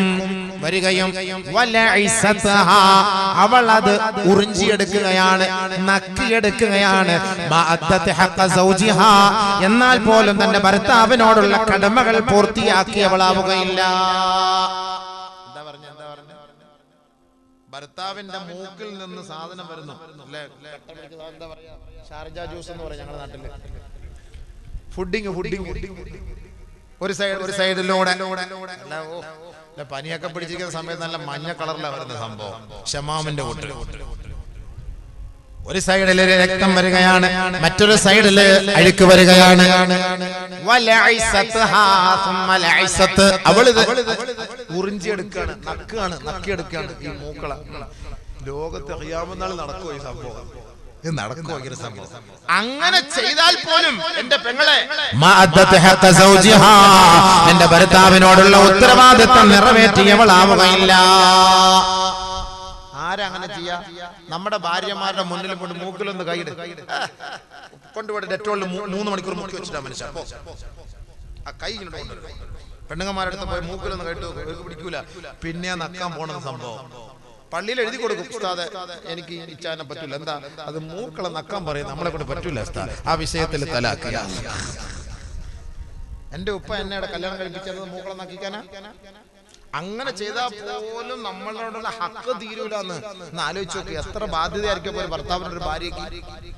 ഒരു ഭാര്യയ്ക്ക് ഒരു ഭർത്താവിനോട് എത്ര ഹക്കായിരിക്കും മനസ്സിലാക്കാൻ വേണ്ടിയിട്ട് ആരുടെ മൂക്കളെ കുടിക്കാനോ അഴുക്ക് കഴിക്കാൻ വേണ്ടി നമ്മൾ പറയല്ല അങ്ങനെ നമ്മൾ ചെയ്യൂല. അത് കാരണം അത് അത്രയും നമുക്കൊരു വെറുപ്പുള്ള ഒരു സാധനമാണ്. ആ വെറുപ്പുള്ള സാധനം പോലും നീ കഴിച്ചാലും ആ ഭർത്താവിനുള്ള ഉത്തരവാദിത്വം നിറവേറ്റില്ല അതാണ് അതാണ് ഭർത്താവ്. അത്രയ്ക്ക് ഹക്കുകൾ ഉണ്ടെന്നാണ് അതിന്റെ അർത്ഥം. അലൈഹി അത്രയ്ക്ക് ഗൗരവത്തോടു കൂടി പറഞ്ഞത്. അദ്ദേഹത്തിന് ദുആയി ചെയ്യണമെന്ന് പറഞ്ഞത്. മനസ്സിലായില്ലേ സഹോദരിമാരെ നിങ്ങളത് എന്താ മനസ്സിലാക്കാത്ത നിങ്ങൾ അദ്ദേഹത്തെ ഒരു നരകവാസിനിയായ പെണ്ണിനെ അള്ളാഹുവിന്റെ റസൂൽ പരിചയപ്പെടുത്തുന്ന കൂട്ടത്തിൽ പറയുകയാണ് ലാ തുകല്ലിഫു സൗജഹാ. സ്വർഗവാസിനിയായ പെണ്ണിനെ കുറിച്ച് അള്ളാഹുവിന്റെ റസൂൽ പരിചയപ്പെടുത്തുന്ന കൂട്ടത്തിൽ പറയുന്നു ഇമ്രാത്തുൻ ലാ തുകല്ലിഫു സൗജഹാ മാ ലാ യുതീഖ് ഒരു ഭർത്താവിനെ കൊണ്ടെടുക്കാൻ പറ്റാത്ത പണി അടിച്ചേൽപ്പിക്കരുതേ അടിച്ചേൽപ്പിക്കരുതേ ആ അടിച്ചേൽപ്പിക്കാത്ത പെണ്ണെ നീ സ്വർഗത്തിലാണ് നബിയുനാ റസൂലുള്ളാഹി നമ്മുടെ ഭർത്താവിനെ കൊണ്ട് ഏറ്റെടുക്കാൻ പറ്റാത്ത പണി അടിച്ചേൽപ്പിക്കരുത് ഒരു ഭാര്യ. എനിക്ക് അത് വേണം ഇത് വേണം നിർബന്ധം പിടിക്കരുത്. അങ്ങനെ നിർബന്ധം പിടിക്കാതെ ഉള്ളത് കൊണ്ട് നീ തൃപ്തിപ്പെട്ടാൽ അതിന് റസൂലുള്ളാഹി തങ്ങൾ പറയുന്നു നീ സ്വർഗത്തിലാണ് സ്വർഗത്തിലാണ്. വലിയ ഭാഗ്യ. ഒരു ഭർത്താവ് സ്വർഗത്തിൽ പോകാൻ ഒരു ഭാര്യ സ്വർഗത്തിൽ പോകാൻ ഒരു കാരണം ഒരു ഭർത്താവിന്റെ എല്ലാം ഇഷ്ടപ്പെട്ട് തൃപ്തിപ്പെട്ട് അങ്ങനെ കഴിഞ്ഞു കൂടണം എല്ലാം തൃപ്തിപ്പെടണം. ഭർത്താവ് എന്ന് പറഞ്ഞ അങ്ങനെ അതാണല്ലോ ഭർത്താവ്. ഭർത്താവ് എന്ന് പറഞ്ഞാൽ അത് തന്നെയാണ്. അത്രയ്ക്കും ഗുണം അത്രയ്ക്കും ഗുണം അദ്ദേഹത്തിന്റെ ഭാഗത്ത് നമുക്ക് കിട്ടുന്നു. അതുകൊണ്ട് ബഹുമാനപ്പെട്ട റസൂലുള്ളാഹി സ്വല്ലല്ലാഹു അലൈഹി വസല്ലമ തങ്ങൾ ഇത്രത്തോളം മഹത്വം കുറിച്ച് നിങ്ങളുടെ മുന്നിൽ പറയുമ്പോ എന്റെ പൊന്നു സഹോദരങ്ങളെ നമ്മുടെ ഭാര്യ എന്ന് പറയുന്നത് നമ്മുടെ അമാനത്താണ്. ആ അമാനത്ത് എന്ന് പറയുന്ന സമ്പത്തിനെ അമാനത്ത് എന്ന് പറയുന്ന സ്വത്തിനെ നമ്മൾ കാത്തു സൂക്ഷിക്കണേ നമ്മളെ തകർക്കരുത് ഉടയ്ക്കരുത് അടിക്കരുത് പീഡിപ്പിക്കരുത് വേദനിപ്പിക്കരുത്. അള്ളാഹുവിനെ സാക്ഷ്യപ്പെടുത്തി മാലാകമാരെ സാക്ഷ്യപ്പെടുത്തി കാലിമാരെ സാക്ഷ്യപ്പെടുത്തി നമ്മുടെ മുന്നിലേക്ക് ഇതാ ഒരു പെണ്ണിന്റെ പിതാവ് ഏൽപ്പിച്ചു തരുന്ന ആ ഒരു ഉത്തരവാദിത്തമാണ്. ആ ഒരു ഉത്തരവാദിത്തം എന്ന് പറയുന്ന അമാനത്തിനെ നിങ്ങൾ ഉടയ്ക്കരുതേ തകർക്കരുതേ. അതുകൊണ്ട് തന്നെയാണ് ആദരവായ തങ്ങളോട് ബഹുമാനപ്പെട്ട ഉമ്മഹാത്തുൽ മോമിനിങ്ങളിൽപ്പെട്ട സഹോദരിമാർ പല പ്രാവശ്യവും ചൊടിക്കാറുണ്ടായിരുന്നു ദേഷ്യം പിടിക്കാറുണ്ടായിരുന്നു. ദേഷ്യം പിടിക്കാറുണ്ടായിരുന്നു. ദേഷ്യം പിടിക്കാറുണ്ടായിരുന്നു. ആദരവായ തങ്ങൾ അതെല്ലാം ക്ഷമിക്കുമായിരുന്നു ഒരിക്കൽ നബീന റസൂലുള്ളാഹി തങ്ങളുടെ പ്രിയങ്കരിയായ ആയിഷ വദഫഅത് അലാ സദരി റസൂലുള്ളാഹി സ്വല്ലല്ലാഹു അലൈഹി വസല്ലം. അല്ലാഹുവിന്റെ റസൂലിന്റെ നെഞ്ചിൽ ഒരു ഇടി ഇടിക്കുകയാണ്.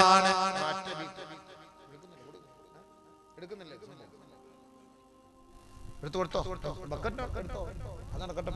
പ്രസംഗം ഏത് സമയത്ത് നിൽക്കാം. അല്ലാ. എടുത്തോ. ചില്ലറ ഞാൻ. സാധാരണ ഒരു നൂറ് എടുത്ത് വെക്കും?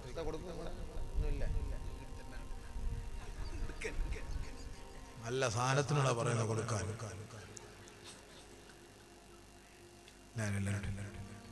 നല്ല ഒരു കുടുംബ ജീവിതം കിട്ടാൻ വേണ്ടിയിട്ട് എല്ലാവരും ഇന്ന് പോയിട്ടൊരു നല്ല റാഹത്ത ഒരു കുടുംബജീവിതം ഉണ്ടാക്കണം? എല്ലാം എല്ലാം ഇഷ്ടം. അത് അത് വരുന്നുണ്ട് എങ്ങനെയാണെന്നുള്ളത് പറഞ്ഞുതരാം അവിടെ ഇരുന്നോ. പറയുന്നതിന് കുഴപ്പമില്ലല്ലോ ഇല്ലേ? കുഴപ്പമുണ്ടോ ഉസ്താദ്? കുഴപ്പമില്ലല്ലോ? ആ, ഇല്ല, ഇല്ല. അപ്പൊ പിന്നെ ഉറപ്പ് കിട്ടി മുൻഗണനയ്ക്ക് ഉറപ്പിച്ച് ധൈര്യമായിട്ട് അല്ലേ? ആ, അൽഹംദുലില്ലാ. എനിക്ക് ഇജാസത്ത് കിട്ടിയാൽ മതി? ഇജാസത്ത് കിട്ടിയാൽ മതി. നല്ല നല്ല പോലെ. ഒരു പത്ത് മിനിറ്റ് കൂടിയാലും കുഴപ്പമില്ല പതിനൊന്നര ആയാലും പ്രശ്നമില്ല നമുക്ക് പ്രശ്നമില്ല. നബീന ഷഫീഉന റസൂലുള്ളാഹി സ്വല്ലല്ലാഹു അലൈഹി വസല്ലമ തങ്ങളുടെ നെഞ്ചിലൊരു ഇടി. ആര്? ആയിഷ. അപ്പോൾ തൊട്ടടുത്ത് ആരുണ്ടായിരുന്നു? അമ്മായി അമ്മ ഉണ്ടായിരുന്നു. അമ്മായി. അമ്മായി. ആയിഷ ബീവിയുടെ ഭാര്യ. അല്ല ആയിഷ ബീയുടെ ഉമ്മ അടുത്തുണ്ടായിരുന്നു. ആയിഷ ബീയുടെ ഉമ്മ അടുത്തുണ്ടായിരുന്നു. ഫസബറത്ഹാ ഉമ്മുഹാ. ആയിഷ ബീവിയെ ഭയപ്പെടുത്തി താക്കീത് ചെയ്തു ആയിഷ. നീ ആരെ അടിക്കുന്ന? നീ ആരെ അടിച്ചത്? ആയിഷ. അലൈഹി തങ്ങളുടെ മുന്നിൽ വെച്ചിട്ട് മകളെ ശകാരിക്കുന്ന ഉമ്മ. മകളെ ശകാരിക്കുന്ന ഉമ്മ. ആരും ആയിഷ? നബീന റസൂലുള്ളാഹി സ്വല്ലല്ലാഹു അലൈഹി വസല്ലമ തങ്ങളെ പറയുകയാണ് അമ്മായി അവളെ അങ്ങോട്ട്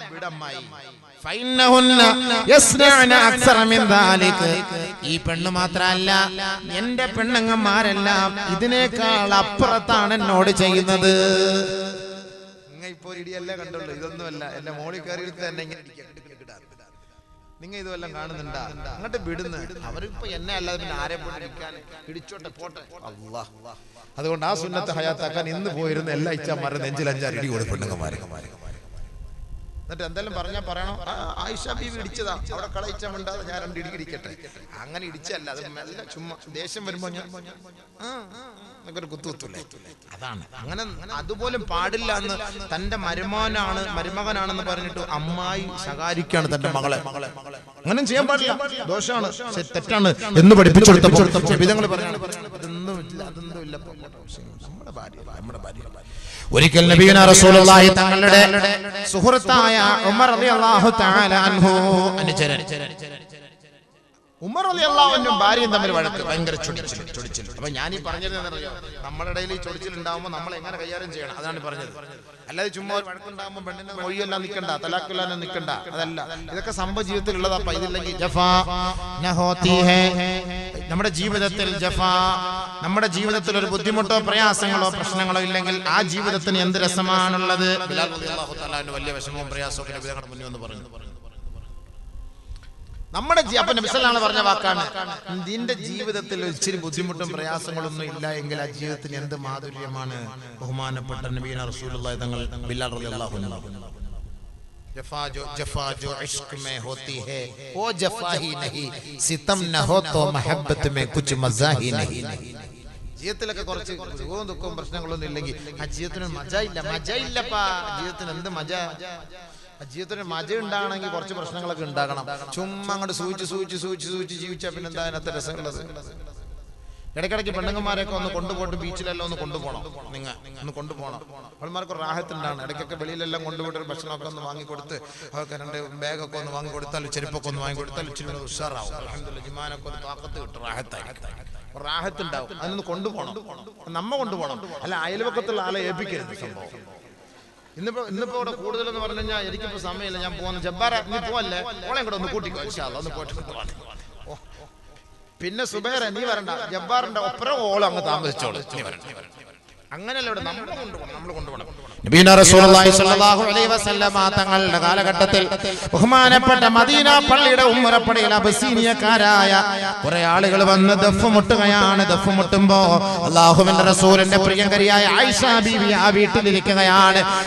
റസൂലുള്ളാഹി കടന്നു വന്നിട്ട് ബീവി പറയുകയാണ് എന്റെ തുണ്ടുകൊണ്ട് എന്റെ തുണി കൊണ്ട് അള്ളാന്റെ റസൂൽ എനിക്കൊരു മറ സ്ഥാപിച്ചു. لأنظر إلى لعبهم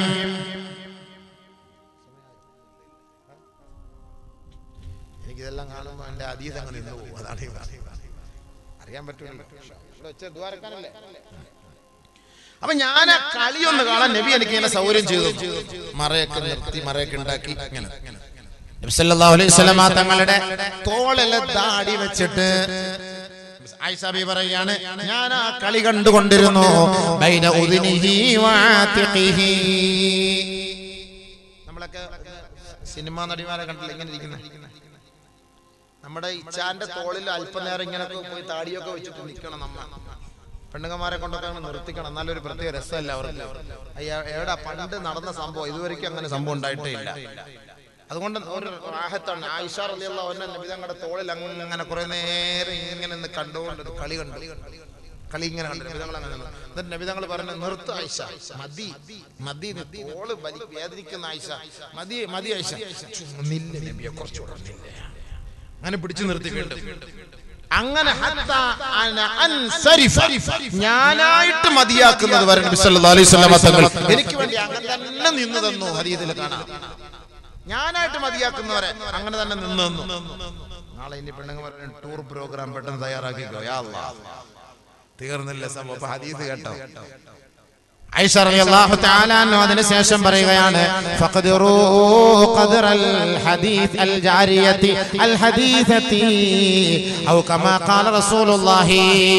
ഒരു പെണ്ണിന്റെ ഒരു ചെറുപ്പക്കാരി പെണ്ണിന്റെ അവളുടെ ആഗ്രഹങ്ങളും അവളുടെ അഭിലാഷങ്ങളും അവളുടെ ആനന്ദങ്ങളും ഭർത്താക്കന്മാരെ നിങ്ങൾ പരിഗണിക്കണേ നിങ്ങൾ പരിഗണിക്കണേ. മഹതിയായ തന്റെ വീട്ടിൽ തന്റെ കൂട്ടുകാരികളോടൊപ്പം കളിച്ചു കൊണ്ടിരിക്കുകയാണ് അങ്ങനെ കളിച്ചുകൊണ്ടിരിക്കുമ്പോൾ അള്ളാന്റെ റസൂൽ കടന്നു വരികയാണ്. അങ്ങനെ നബിതങ്ങളെ കണ്ടപ്പോ ബാക്കിയുള്ള തോഴിമാരെല്ലാം എഴുന്നേറ്റ് പോയി. ഐഷ ബീവിയും പുറയിലേക്ക് കയറി. തങ്ങൾ പറഞ്ഞു ആയിഷേ ആ തോഴിമാരെ മുഴുവനും തിരിച്ചു വിളിക്കണേ ആയിഷേ. എന്നെ കണ്ടിട്ട് പോകരുതേ പോകരുതേ. ഞാൻ മാറിപ്പോയി കൊള്ളാം ആയിഷേ. അവരെ തിരിച്ചു വിളിച്ച് നിങ്ങൾ വീണ്ടും കളിക്കണേ രസിക്കണേ. ഞാൻ നിങ്ങൾക്ക് ഒരു തടസ്സമല്ല തടസ്സമല്ല. അങ്ങനെ അള്ളാൻ റസൂൽ പറഞ്ഞത് പ്രകാരം ഞാൻ തോഴിമാരെ തിരിച്ചു വിളിക്കുകയും ഞങ്ങൾ അവരോടൊപ്പം ഒരുമിച്ച് കളിക്കുകയും ചെയ്തു. വിനോദം പങ്കിടുകയും ചെയ്തു എന്ന് മഹതിയായ ആയിഷ സിദ്ദീഖ. പെണ്ണുങ്ങന്മാർക്കാനുള്ള സൗകര്യമൊക്കെ ചെയ്തു കൊടുക്കണം നമ്മ നമ്മൾ ചെയ്തു കൊടുക്കണം. പരിക്കാത്താനുള്ള സംവിധാനങ്ങളൊക്കെ നമ്മൾ ചെയ്തു കൊടുക്കണം. അപ്പൊ അവർക്കൊരു മനസ്സുണ്ട് ഹോം സിക്ക് എപ്പോഴും വീട്ടിനകത്ത് ഇങ്ങനെ ഇരുന്നിട്ട് ഒരുമാതിരി ഗൃഹാതുരത്വം. ഭയങ്കര പ്രശ്നമാണ്.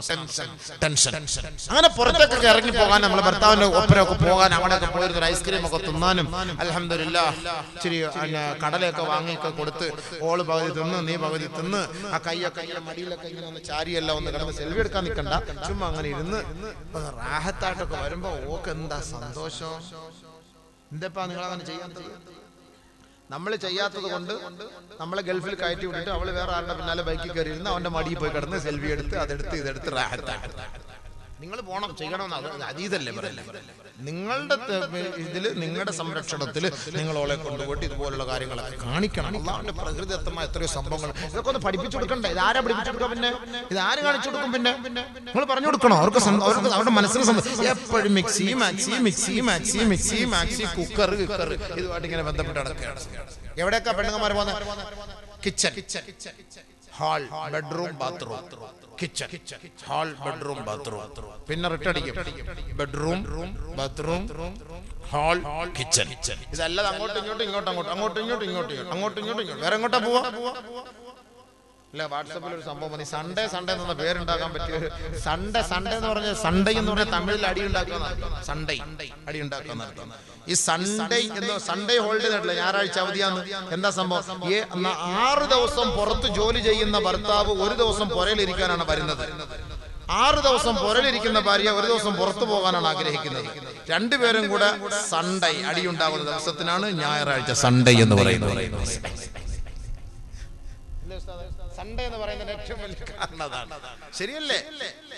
ആറ് ദിവസം പുറത്തു കിടന്ന് ജോലി ഒരു ദിവസം നിന്റെ ഒപ്പം ഇരുന്ന് ഭക്ഷണം കഴിക്കാൻ ഒരു സന്തോഷമല്ല. നമുക്ക് എത്രയോ കാര്യങ്ങൾ പറയാനുണ്ട്. അതെല്ലാം ശരി തന്നെ ആറ് ദിവസം ഈ അടുക്കള ബാത്റൂം ബെഡ്റൂം ഹാൾ അടുക്കള ബാത്റൂം ബെഡ്റൂം ഹാൾ ഇതിനകത്ത് കിടന്ന് എനിക്ക് തലയ്ക്ക് ഭ്രാന്ത് പിടിക്കാൻ എനിക്ക് പുറത്തുനിന്ന് പോകണം വെയിൽ കൊള്ളണ്ടേ? കാൽസ്യമില്ല രാവിലത്തെ വെയിൽ കൊള്ളാതെ. പുറത്തേക്ക് പോകാം. രണ്ടുപേര് സൺഡേ ഇതിനാണ് സൺഡേ ഹോളിഡേ എന്ന് പറയുന്നത് സംഭവം. അതുകൊണ്ട് ഇത് ഉണ്ടാക്കണ്ട ഇറങ്ങിപ്പോ. ഒന്ന് കൊണ്ടുപോട്ട് അവിടെ ഒന്ന് കാണിക്കും. സന്തോഷിപ്പിക്കും. അതാണ് ഏറ്റവും വലിയ കാര്യം. ഒരു ഭാര്യയുടെ സന്തോഷം അത് തന്നെയാണ്. റസൂലിനോട് സഹാബാക്കൾ ചോദിക്കുന്നു എന്താണ് നമ്മുടെ ഭാര്യമാരോടുള്ള കടമയും കടപ്പാടുമെന്ന് അള്ളാന്റെ റസൂലിന്റെ സഹാബാക്കൾ ചോദിച്ചപ്പോ ഹബീബ റസൂലുള്ളാഹി തങ്ങൾ പറയുകയാണ്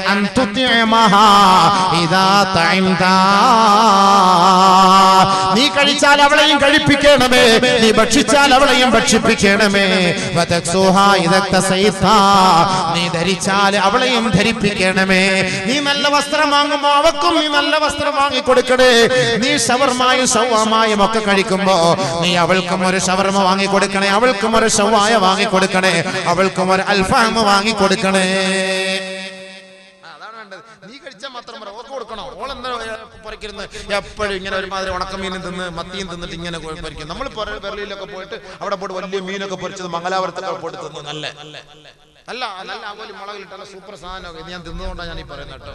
നമ്മുടെ ഭാര്യ ഇല്ലാത്തതുകൊണ്ടാണ് ഇവിടെ തിന്നത്. അതുകൊണ്ട് രക്ഷപ്പെട്ട്. അപ്പൊ നമ്മൾ ഇതൊക്കെ വാങ്ങി ഓക്കെ കൊടുക്കണം. സന്തോഷിപ്പിക്കണം. വളരെ സന്തോഷിപ്പിക്കണം. ഇനി നിനക്ക് കഴിക്കാൻ പറ്റുന്നില്ലേ കൊടുക്കാൻ പറ്റുന്നില്ലയോ നീ ഒന്ന് ഫോൺ വിളിക്കണേ. ഹോട്ടലുണ്ട് നല്ല ആവൂലി മുളകിലിട്ട് നല്ല ആവൂലി മസാല പുരട്ടിയത് ഒരെണ്ണം കൊണ്ടുവരട്ടെ നിനക്ക് വേണ്ട. ഇല്ലച്ച വേണ്ട ഇച്ച തിന്നിട്ട് എന്താ നല്ല പെണ്ണ്. മാടിക്ക കൊടുക്കാനല്ല ചുമ്മാ ജസ്റ്റ് ഒന്ന് ചോദിച്ചതാണ്. എങ്ങനെ വാങ്ങിച്ചു കൊടുക്കും? എഴുന്നൂറ് റുപ്യ. എഴുന്നൂറ് റുപ്യ. അപ്പൊ ജസ്റ്റ് ഒന്ന് ചോദിച്ചപ്പോ ഓൾ വിചാരിച്ചു എന്റെ ഇച്ചാക്ക് ഇത്രയ്ക്ക് മഹബത്ത് ഇല്ലില്ല ഇച്ച തിന്നിട്ടോ ഇച്ച എനിക്ക് വേണ്ട എനിക്ക് വേണ്ട. ഇച്ച തിന്നിട്ടോ. ഞാൻ ഞാൻ ഞാൻ ഇത്ര സ്നേഹമുള്ള ഭർത്താവ് ഉണ്ടോ ദുനിയാവിൽ? ചുമ്മാ ഒന്ന് ചോദിച്ചേരാ ജസ്റ്റ് അവക്കൊരു സന്തോഷം. വാങ്ങിച്ചൊന്നും കൊടുക്കാനൊന്നല്ല അപ്പൊ ഗൾഫിൽ നിൽക്കുന്ന സമയത്ത് കടയിൽ പോയിട്ട് വിളിക്കണം. നിനക്ക് ഏത് ഭർത്താവ് വേണ്ട ഏത് ഭർത്താവ് വേണ്ട? ഒക്കെ എനിക്ക് പർദ്ദ ഒന്നും വേണ്ട? ഇക്ക ഇനി വന്നാ മതി. ഇനി വന്നാ മതി. എനിക്ക് ഒരു പർദ്ദയും വേണ്ട? ഇഷ്ടംപോലെ പർദ്ദ മാഷാ അല്ലാ ഇങ്ങനത്തെ ഒരു പെണ്ണിനെ കിട്ടും നമുക്ക്. അങ്ങനെ അവളെ ഒന്ന് വിളിച്ചു സന്തോഷാണ്. നല്ല പെണ്ണുങ്ങളാണെ പറയും. ഒന്നും വേണ്ട. അലഹമ്മദില്ല ഉണ്ട് ഇപ്പൊ. നമുക്ക് ആവശ്യത്തിന് ഇവിടെ വരുമ്പോ വാങ്ങാം നിങ്ങൾ പോരെ. നിങ്ങൾ വാ. ആ, എന്താ റാഹത്ത്. അതുകൊണ്ട് നമ്മൾ എന്ത് ചെയ്യണം അവളോടുള്ള ഹക്ക് എന്താ? ഇദാ വലാ വജ്ഹ. അവളുടെ മുഖത്തടിക്കരുതേ നബിയുനാ റസൂലുള്ളാഹി. പാടില്ല ചൊടിക്കാൻ പാടില്ല. ലാ മുഅ്മിനതൻ ഇൻ കരിഹ ഒരു ആണും ഒരു ഭർത്താവും ഒരു പെണ്ണിനെ കുറിച്ച് തന്റെ ഭാര്യയെ കുറിച്ച് ഇഷ്ടമില്ലാത്തതും അരോചകമായതും പറഞ്ഞുകൊണ്ടിരിക്കരുത്. ഒരുപക്ഷെ അവളുടെ സ്വഭാവത്തിൽ വല്ല ദൂഷ്യം സംഭവിച്ചാൽ മറ്റൊരു സന്ദർഭത്തിൽ അവളുടെ സ്വഭാവത്തിൽ നിനക്ക് സന്തോഷമുണ്ടാകും. ഭാര്യമാർക്ക് ഇഷ്ടമില്ലാത്ത ചൊറിഞ്ഞ വർത്താനം. ഫറക്കാന്ന് പറഞ്ഞാൽ ചൊറിഞ്ഞു നടത്തും ഒരുമാതിരി ചൊറിഞ്ഞ വർത്താനം പറയാതെ മനുഷ്യ ചുമ്മാ അവിടെ എന്ന് പറയും. എന്ന് പറഞ്ഞാൽ അങ്ങനെ പറയരുത് എന്നർത്ഥം ഭർത്താക്കന്മാരോടുള്ള കടമയാണ്. മോശമായ പേരിട്ട് അവളെ വിളിക്കരുത്. പന്നി നായ വൃത്തികെട്ടവളെ അഹങ്കാരി ഖന്നാസ് ബെടുക്കൂസ്. ഇതൊക്കെ അവർക്ക് ഇഷ്ടമില്ലാത്ത പേരാണ്. ഇഷ്ടമില്ലാത്ത പേരാ. നമ്മളെ നമ്മളൊക്കെ ഉണ്ടെന്നറിയില്ല. ഞങ്ങളുടെ നാട്ടിലൊക്കെ അങ്ങനെ ഉണ്ട് കേട്ടോ ചിലപ്പോ ഇവളുടെ ഈ സ്വഭാവം കണ്ട വിളിക്കാതെ എന്ത് ചെയ്യാനാ? ചില സ്വഭാവം കണ്ട പിടിച്ചാൽ എന്തെങ്കിലും ചെയ്തു പോയില്ലേ സംഭവം? അതൊക്കെയാണ് പിടിക്കണം. അതൊക്കെ ആ സമയത്തൊക്കെ നമ്മൾ പൊതുവെടുത്തിട്ട് നേരെ പള്ളിക്ക് പോയേക്കണം. അവിടെ നിൽക്കരുത് അതാണ് ഏറ്റവും വലിയ ഹൈ അല്ലെങ്കിൽ നമ്മൾ എന്തെങ്കിലും പറഞ്ഞു പോകും. മൂന്ന് ഫാമിലി യാത്ര ചെയ്തു. മൂന്ന് ഫാമിലി ഇങ്ങനെ യാത്ര ചെയ്ത കൂട്ടത്തിൽ ഇങ്ങനെ ഒരു വഴിയിൽ ഓരത്തൊക്കെ ഇറങ്ങി അവർ കൊണ്ടുപോയ ഭക്ഷണമൊക്കെ ഇങ്ങനെ വിളമ്പി വെച്ച് തിന്നോണ്ടിരിക്കുകയാണ് അപ്പൊ ഒരു ഫാമിലിയിലെ ഒരു പെണ്ണ് പെണ്ണിനോട് ഭർത്താവ് പറഞ്ഞു ആ പഞ്ചാരഞ്ഞിട എന്റെ ചക്കരേ. ചക്കരേന്ന് വിളിച്ചപ്പോൾ ഭയങ്കര ഇഷ്ടപ്പെട്ടു. ചക്കര വെച്ച് കൊടുത്തു കൊടുത്തു. അപ്പൊ രണ്ടാമത് ഫാമിലി പറഞ്ഞു ആ ലിവർ റോസ്റ്റിങ്ങോട് എന്റെ കരളെ? അയ്യോ കരളെ എന്ന് വിളിച്ചപ്പോൾ ഭയങ്കരമായിട്ട് ഇഷ്ടപ്പെട്ടു അപ്പൊ ലിവർ റോസ്റ്റും കിട്ടി പഞ്ചാരം കിട്ടി. അപ്പൊ താത്തായും ഇച്ചായും ഇഞ്ഞായും ഇരിപ്പുണ്ട്. ഒന്നും ഉണ്ടാകുന്നുണ്ട് തിന്നു ഈ രണ്ടുപേരും കരളേന്നും ചക്കരേന്നും വിളിച്ചപ്പോ ഈ ഇഞ്ഞാക്കും ഒരു മോഹം. ഈ ചങ്ങാതി ഒന്ന് വിളിക്കുന്ന എന്നെ ഒന്നും വിളിക്കുന്നില്ലല്ലോ എന്തോ ഒരു സ്നേഹം അവർക്ക് നോക്ക് എന്ത് ഇഷ്ടത്തോടെ വിളിക്കുന്നു? എന്ത് പിരിസത്തോടെ വിളിക്കുന്നു? എന്ത് സ്നേഹത്തോടെ വിളിക്കുന്നു? മനുഷ്യ അത് വിളിക്കുന്ന കേട്ടോ നിങ്ങൾക്ക് എന്തെങ്കിലും എന്നെ ഒന്ന് വിളിച്ചൂടെ? ആ എന്നാ ആ ആ ബീഫ് ഇങ്ങോട്ട് പോത്തെ.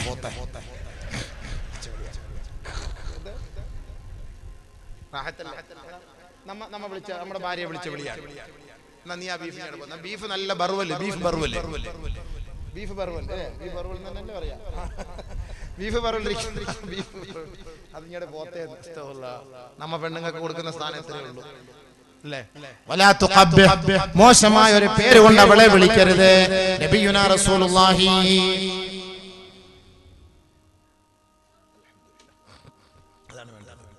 അതല്ലേ നമ്മളെ നമ്മൾ നമ്മളെ സമ്പത്തല്ലേ? അവൾ നമ്മളെ സമ്പത്തല്ലേ? നമ്മൾ എന്തിനാ അങ്ങനെ വിളിക്കുന്നത്? ഒരിക്കലും അങ്ങനെ വിളിക്കാൻ പാടില്ല. അത് ഹബീബ് റസൂലുള്ളാഹി. ഭർത്താക്കന്മാരോടുള്ള കടമയും ഹക്കും ബാധ്യതയും എന്ന് നമ്മളോട് പഠിപ്പിച്ചതാണ്. പിന്നെ ഒരു മറ്റൊരു ഹക്കായ കാര്യം. ഭർത്താക്കന്മാർക്കും ഭാര്യമാർക്കും ഇടയിൽ നിന്ന് പ്രശ്നമുണ്ടാകുന്ന ഏറ്റവും വലിയൊരു വിഷയം ദാമ്പത്യത്തിൽ ഉണ്ടാകുന്ന ന്യൂനതയാണ്. ആ ദാമ്പത്യത്തിലെ ന്യൂനത പരിഹരിക്കാൻ ഏ ഭർത്താക്കന്മാരെ നിങ്ങൾ ഒന്ന് പരിശ്രമിക്കണേ. കോശിഷ് കർണ നിങ്ങളുടെ ഹക്കാണിത്. നിങ്ങളുടെ ഹക്കാണ്. നിങ്ങൾ കുറച്ച് കോശിഷ് ചെയ്യണം. അല്ലാതെ ഭാര്യമാരെ മാത്രം കുറ്റം പറഞ്ഞിട്ട് കാര്യമില്ല. തൊണ്ണൂറ്റിയൊമ്പത് ശതമാനം ഷഹവത്തുള്ളവരാണ് ഭാര്യമാർ. റസൂലുള്ളാഹി തങ്ങൾ പറഞ്ഞു നൂറ് ശതമാനം അള്ളാഹു വികാരത്തെ സൃഷ്ടിച്ച് തൊണ്ണൂറ്റിയൊമ്പത് ശതമാനം അത് സ്ത്രീകൾക്കാണ് അള്ളാഹു നൽകിയത്. ഒരു ശതമാനം മാത്രമാണ് പുരുഷന്മാർക്ക് അള്ളാഹു നൽകിയത്. പത്ത് ശതമാനം വികാരത്തെ അള്ളാഹു സൃഷ്ടിച്ചിട്ട് ഒമ്പത് ശതമാനവും അത് സ്ത്രീകൾക്കാണ് നൽകിയത്. ഒരു ശതമാനം മാത്രമാണ് പുരുഷന്മാർക്ക് നൽകിയത്. ഈ പെണ്ണുങ്ങളുടെ വികാരങ്ങളെ പിടിച്ചു നിർത്തുന്നത് അവളുടെ പ്രസവത്തിലൂടെയാണ്. അവളങ്ങാണം പ്രസവിക്കാതെ ഇരുന്നാൽ ഈ ഭൂലോകത്ത് ഒരാണുങ്ങൾക്ക് റോഡിലൂടെ നടക്കാൻ പറ്റൂല. നീ അങ്ങോട്ട് ലൈൻ അടിക്കാൻ നിൽക്കണ്ട. നിന്നെ അവൾ മാറി തൂക്കി കൊണ്ടുപോകും നല്ല അടയാളം വരുമല്ലോ. ഗതിയില്ല. ഇന്നിപ്പോ നമ്മളൊരു പെണ്ണിനെ എത്ര ത്യാഗം സഹിച്ചിട്ടാ ലൈൻ അടിക്കുന്നത്? എത്ര ഹായ് ഹായ് അയച്ചാലാ അവൾ ഇങ്ങോട്ടൊരു ഹായ് എന്ന് വിടുക? കിയാമത്ത് നാൾ അടയാളാവുമ്പോ നിന്റെ പിന്നാലെ ഇവിടെ ഓടി വരും നാൽപ്പത് പെണ്ണുങ്ങൾ നിന്റെ പിന്നാലെ ഓടും. ഗതിയില്ലാതെ നീ ഓടി ഓടി ഓടി മരത്തി കയറി. മരത്തി കയറി വലിച്ചു താഴോട്ട്. ഒന്ന് ആലോചിച്ച് നോക്ക്. ഖിയാമത്ത് നാൾ അടയാളം. അങ്ങനത്തെ ഒരു കാലഘട്ടം വരുമെന്നാണ് വിധങ്ങൾ പറഞ്ഞത്. അതിന് മുമ്പൊക്കെ അല്ല ഈമാനോട് നമ്മളെ മരിപ്പിക്കട്ടെ.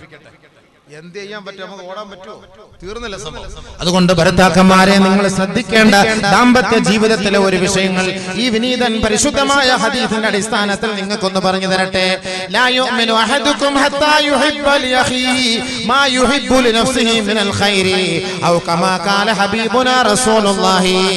നിങ്ങളിൽ ഒരാളും സത്യവിശ്വാസികളാവുകയില്ല നിങ്ങളിൽ ഒരാളും സത്യവിശ്വാസികളാവുകയില്ല നിങ്ങളുടെ സഹോദരിയുടെ ഉത്തരവാദിത്തത്തിൽ ആ സഹോദരിയുടെ ആഗ്രഹങ്ങൾ സഫലീകരിച്ചു കൊടുക്കുന്നത് വരെ അവരെ നിങ്ങൾ തൃപ്തിപ്പെടുത്തുന്നത് വരെ നിങ്ങൾ ഒരാളും വിശ്വാസികളാവുകയില്ല. ഇസ്ലാമിൽ ബുദ്ധിമുട്ടിക്കലില്ല പക്ഷെ ഇസ്ലാമിൽ ബുദ്ധിമുട്ടിക്കലില്ല എന്ന് ഇളറാറും ബിഹാ. ഒരു പെണ്ണിനെ ബുദ്ധിമുട്ടിക്കൽ ഒരു പെണ്ണിന്റെ വികാര വിചാരങ്ങളെ മാനിക്കാത്തത് ഒരു പെണ്ണിന്റെ വികാര വിചാരങ്ങളെ പരിഗണിക്കാതെ നിന്റെ വികാരങ്ങൾ പൂർത്തീകരിച്ചതിന് ശേഷം ആ പെണ്ണിൽ നിന്ന് മാറിപ്പോകൽ ആ പെണ്ണിനെ വേദനിപ്പിക്കലും ബുദ്ധിമുട്ടിക്കലുമാണ്. അത് ഇസ്ലാമിന് തന്നെ വിരോധമാണ്. ഇസ്ലാം നിശിതമായി വിമർശിച്ച കാര്യമാണ്. അത് ഈമാൻ നഷ്ടപ്പെട്ടു പോകുന്ന കാര്യമാണ്. അവൾ വ്യഭിചാരത്തിലേക്ക് പ്രവേശിക്കാനും അതൊരു കാരണമായേക്കാം. അതുകൊണ്ട് എന്റെ ഭർത്താക്കന്മാരെ നിങ്ങൾ നിങ്ങളുടെ ഭാര്യമാരെ സമീപിക്കുന്ന സമയത്ത് ആ ഭാര്യമാരുടെ ആഗ്രഹങ്ങൾ കൂടി നിങ്ങളൊന്ന് പരിഗണിക്കണേ. ആ ഭാര്യമാരുടെ വികാര പൂർത്തീകരണം വരെ നിങ്ങൾ അവരോടൊപ്പം കിടക്കണേ. അവർ പറയുന്നത് പോലെ നിങ്ങളൊന്ന് സഹകരിച്ചു കൊടുക്കണേ. ഇത് ലോകത്തിന്റെ മുത്ത് മുഹമ്മദ് മുസ്തഫ തങ്ങളെ പറഞ്ഞ അതീതാണ്. നമ്മൾ ഞാൻ പറഞ്ഞില്ല ഒരു ശതമാനമുള്ള നമുക്ക് വികാരം. നമുക്ക് പെട്ടെന്ന് ഉണ്ടാകും. പെട്ടെന്ന് നമുക്ക് ഇന്ദ്രിയസ്കലനം ഉണ്ടാകും. പെട്ടെന്ന്. കാരണം എന്താ? നമുക്ക് മുതുകല്ലിൽ നിന്നാണ് വരുന്നത്. ബാക്കിൽ നിന്ന് പെട്ടെന്ന് വരും ഇന്ദ്രിയം. പെണ്ണുങ്ങൾക്ക് അങ്ങനെയല്ല. വാരിയലിന്റെ ഇടയിൽ നിന്ന് അവിടുന്ന് മുകളിൽ താഴോട്ട് വരണം. കുറച്ച് താമസം എടുക്കും. ലേറ്റാവും. കുറച്ച് താമസിക്കും. അപ്പൊ അതുവരയ്ക്കും നിങ്ങൾ കുറച്ച് വെയിറ്റ് ചെയ്യണം. ആ വെയിറ്റ് ചെയ്യാൻ എന്ത് ചെയ്യണം? നബിയുനാ റസൂലുള്ളാഹി സ്വല്ലല്ലാഹു അലൈഹി വസല്ലമ തങ്ങൾ പറയുകയാണ് ലാ യഖഉ അഹദുക്കും അഹ്ലഹു കമാ തഖഉൽ ബഹീമ. നിങ്ങൾ ആരും നിങ്ങളുടെ ഭാര്യമാരുടെ അരികിലേക്ക് പോകുമ്പോൾ ശാരീരികമായി ബന്ധപ്പെടാൻ പോകുമ്പോൾ മൃഗങ്ങളെ വേഴ്ച ചെയ്യുന്നത് പോലെ ആകരുത് മൃഗങ്ങളുമായി ബന്ധപ്പെടുന്നത് പോലെ ആകരുത്. ഫല്യകുൻ ബൈനഹുമാ റസൂൽ നിങ്ങൾക്കിടയിൽ ഒരു ദൂതനെ നിങ്ങൾ അയക്കണേ. ഖീല യാ റസൂലല്ലാഹ് അല്ലാഹുവിന്റെ റസൂലിനോട് സഹാബത്ത് ചോദിക്കുകയാണ് ഒമർ റസൂൽ? എന്താണ് ദൂതൻ ആരാണ്? ദൂതൻ നബിയെ എന്ന് അള്ളാന്റെ റസൂലിനോട് സഹാബത്ത് ചോദിച്ചപ്പോ റസൂലുള്ളാഹി തങ്ങൾ പറഞ്ഞു അൽ കലാമു വൽ ഖുബ്ല. ഒരു പെണ്ണിന്റെയും ആണിന്റെയും ഇടയിലുള്ള ദൂതൻ എന്ന് പറയുന്നത് ഒരു ഭർത്താവിന്റെയും ഭാര്യയുടെയും ഇടയിലുള്ള ദൂതൻ എന്ന് പറയുന്നത് അൽ കലാമു സംസാരമാണ് വൽ ഖുബ്ലത്തു ചുംബനമാണ്. ഈ സംസാരവും ഈ ചുംബനവും ഇല്ലാതെ ഇല്ലാതെ ഒരു ഭാര്യയെ പോയിട്ട് പെട്ടെന്ന് സമീപിക്കരുത്. നിമിതങ്ങൾ പറഞ്ഞ വാക്കാണിത് അപ്പൊ ഇങ്ങനെയൊക്കെ കുറച്ച് സംസാരിക്കുക എടുക്കുകയും അവക്ക് ഇച്ചിരി എന്തെങ്കിലുമൊക്കെ ഇക്കിളി ഇക്കിളി വർത്തമാനങ്ങളൊക്കെ പറയുമ്പോൾ അവക്ക് സ്വാഭാവികമായിട്ട് കുറച്ച് വികാരങ്ങളും ആഗ്രഹങ്ങളൊക്കെ ഉണ്ടായി വരും. ഉണ്ടായി വരും.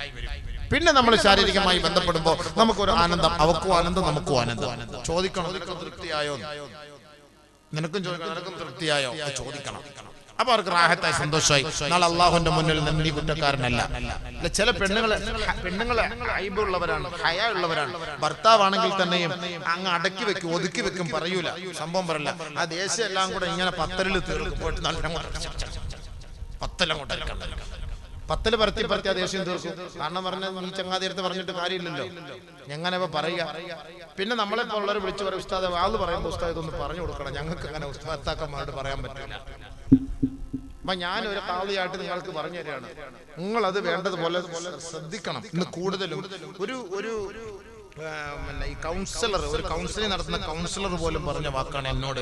കൂടുതലും ദാമ്പത്യമായ പ്രശ്നത്തിന്റെ പേരിലാണ് കുടുംബജീവിതം തകർന്നു പോകുന്നത്. വിവാഹ ബന്ധം തകർന്നു പോകുന്നത് ദാമ്പത്യ പ്രശ്നത്തിന്റെ പേരിലാണ്. നമുക്കൊക്കെ ഒരു ധാരണയുണ്ട്. ഒരു നാപ്പത് നാപ്പത്തഞ്ച് അമ്പത് വയസ്സായി കഴിഞ്ഞാൽ പിന്നെ മാഫി ഫായിദ എന്നും പറഞ്ഞിട്ട് ഭാര്യ ഭാര്യയുടെ മുറുക്കിൽ ഭർത്താവ് ഭർത്താവിന്റെ റൂമിൽ ഇല്ല അങ്ങനെ അടക്കാൻ പാടില്ല. നിമിതങ്ങൾ പറഞ്ഞു പറഞ്ഞു ഭർത്താവിന്റെ മുറിയിൽ നിന്ന് ഭാര്യമാരെ നിങ്ങളെ നിങ്ങൾ മാറിക്കിടക്കരുതേ. ഭർത്താവിന്റെ മുറിയിൽ നിന്ന് മാറി കിടക്കാൻ പാടില്ല. ഒരു അക്രമം തന്നെയാണ്.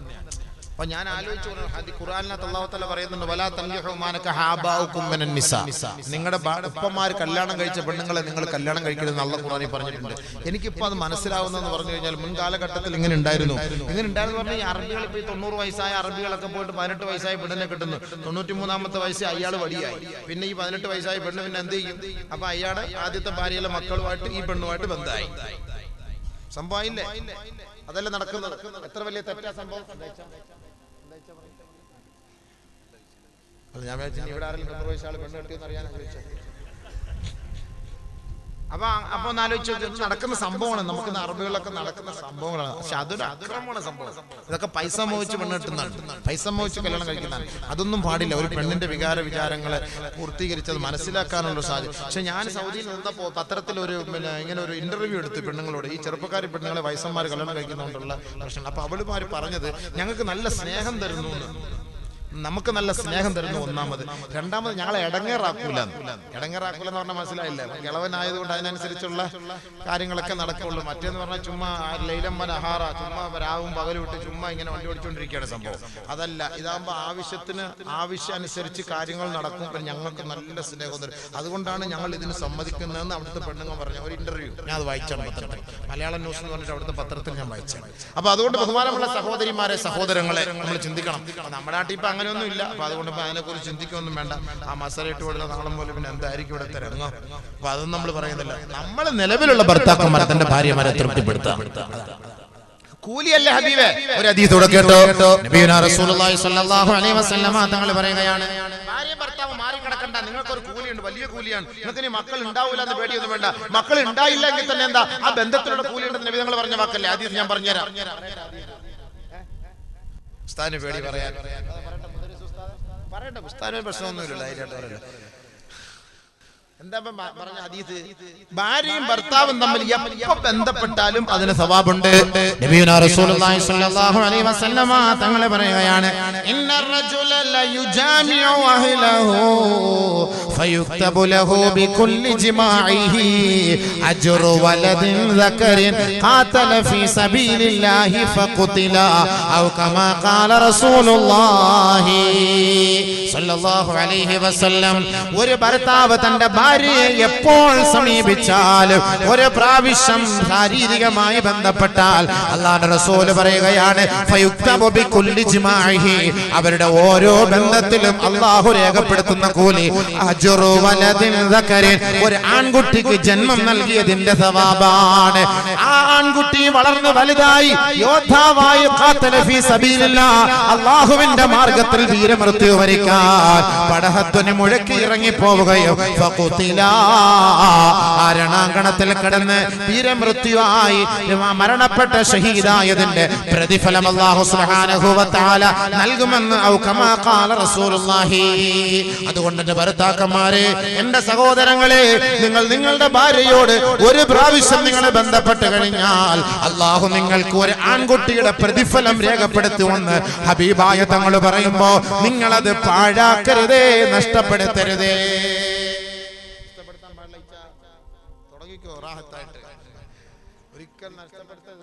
ഇടുന്ന കാര്യമല്ല ഇനി മക്കൾ ഉണ്ടാവില്ല ഉസ്താദ് മാഫി മുഷ്കിൽ രേഖപ്പെടുത്തും ഓരോ വയസ്സുണ്ടാവും ഓരോ കുട്ടി ഉണ്ടാവും എന്ന് രേഖപ്പെടുത്തി കഴിഞ്ഞു നമുക്ക് പേടിക്കണ്ട ഇൻഷാ കിട്ടുന്ന കൂലിയാണ്. മക്കളില്ലാത്ത ദമ്പതികളുണ്ട്. മക്കളില്ലാത്ത ദമ്പതികൾ. ഈ മക്കളില്ലാത്ത ദമ്പതികൾക്ക് വിഷമം വേണ്ട. അവർ വിചാരിക്കും ഞങ്ങൾക്ക് മക്കളില്ലല്ലോ ഞങ്ങൾക്ക് മക്കളില്ലല്ലോ ഒരു പ്രാവശ്യം നിങ്ങൾ ഭാര്യമാരുമായി ശാരീരിക ബന്ധം പുലർത്തുന്ന സമയത്ത് അള്ളാഹു നിങ്ങൾക്ക് എഴുതുന്നത് ഓരോ ആൺകുട്ടിയുടെയും സവാബാണെന്ന് നബിയുനാ റസൂലുള്ളാഹി. നിങ്ങളിവനെ വിഷമിക്കുന്ന എന്തിന് നിങ്ങൾ വിഷമിക്കരുത് പ്രയാസപ്പെടരുത് നാളെ ആഖിറത്തെ അള്ളാഹു നിങ്ങൾക്ക് കിട്ടും. സവാബ് കിട്ടും. വലിയ കൂലിയാണ് വലിയ കൂലിയാണ്. വലിയ കൂലിയാണ്. അതുകൊണ്ട് ബഹുമാനമുള്ള സഹോദരങ്ങളെ തങ്ങൾ പറയുകയാണ് ശാരീരികമായി ബന്ധപ്പെടുമ്പോൾ പിശാജിന്റെ ഷറിൽ നിന്ന് അള്ളാഹുവിനോട് നിങ്ങൾ കാവൽ തേടണേ. നിങ്ങൾ വിവാഹം കഴിഞ്ഞു ഇനി മക്കൾ ഉണ്ടാവുകയില്ല എന്ന് തീരുമാനിച്ചാലും നിങ്ങളുടെ ബന്ധത്തിൽ നിങ്ങൾ ദുആ ചെയ്യണം.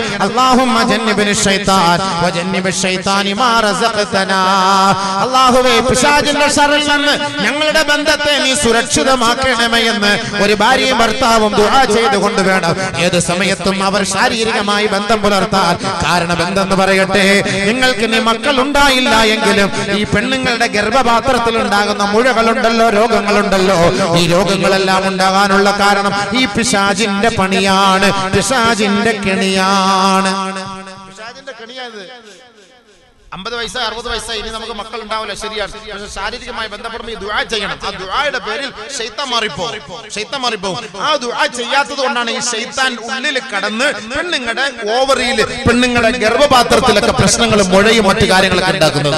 നമ്മൾ ദുആ ചെയ്യണം. എപ്പോഴും ദുആ ചെയ്യണം. നബീന റസൂലുള്ളാഹി തങ്ങൾ പറയുകയാണ് ഇദാ അതാഹദുകും ഫൽയസ്തതിർ.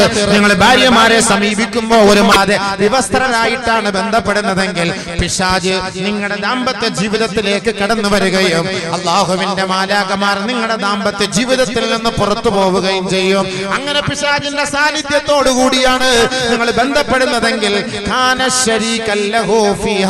നിങ്ങൾക്കുണ്ടാകുന്ന കുട്ടികളിൽ പിശാജിന്റെ ഒരു അംശം ഉണ്ടാകുമെന്ന് റസൂലുള്ളാഹി സ്വല്ലല്ലാഹു അലൈഹി വസല്ലം.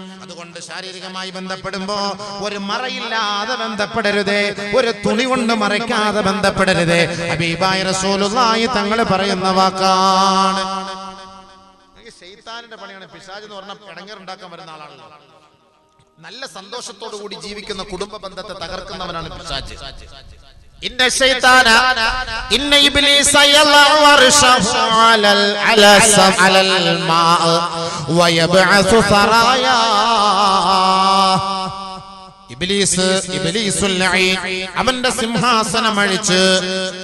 കടലിന്റെ മുകളിൽ വെച്ചിട്ട് തന്റെ അനുയായികളെ മുഴുവൻ വിളിച്ചിട്ട് ഓരോ കുടുംബക്കാരുടെ വീട്ടിലേക്ക് മയക്കുകയാണ്.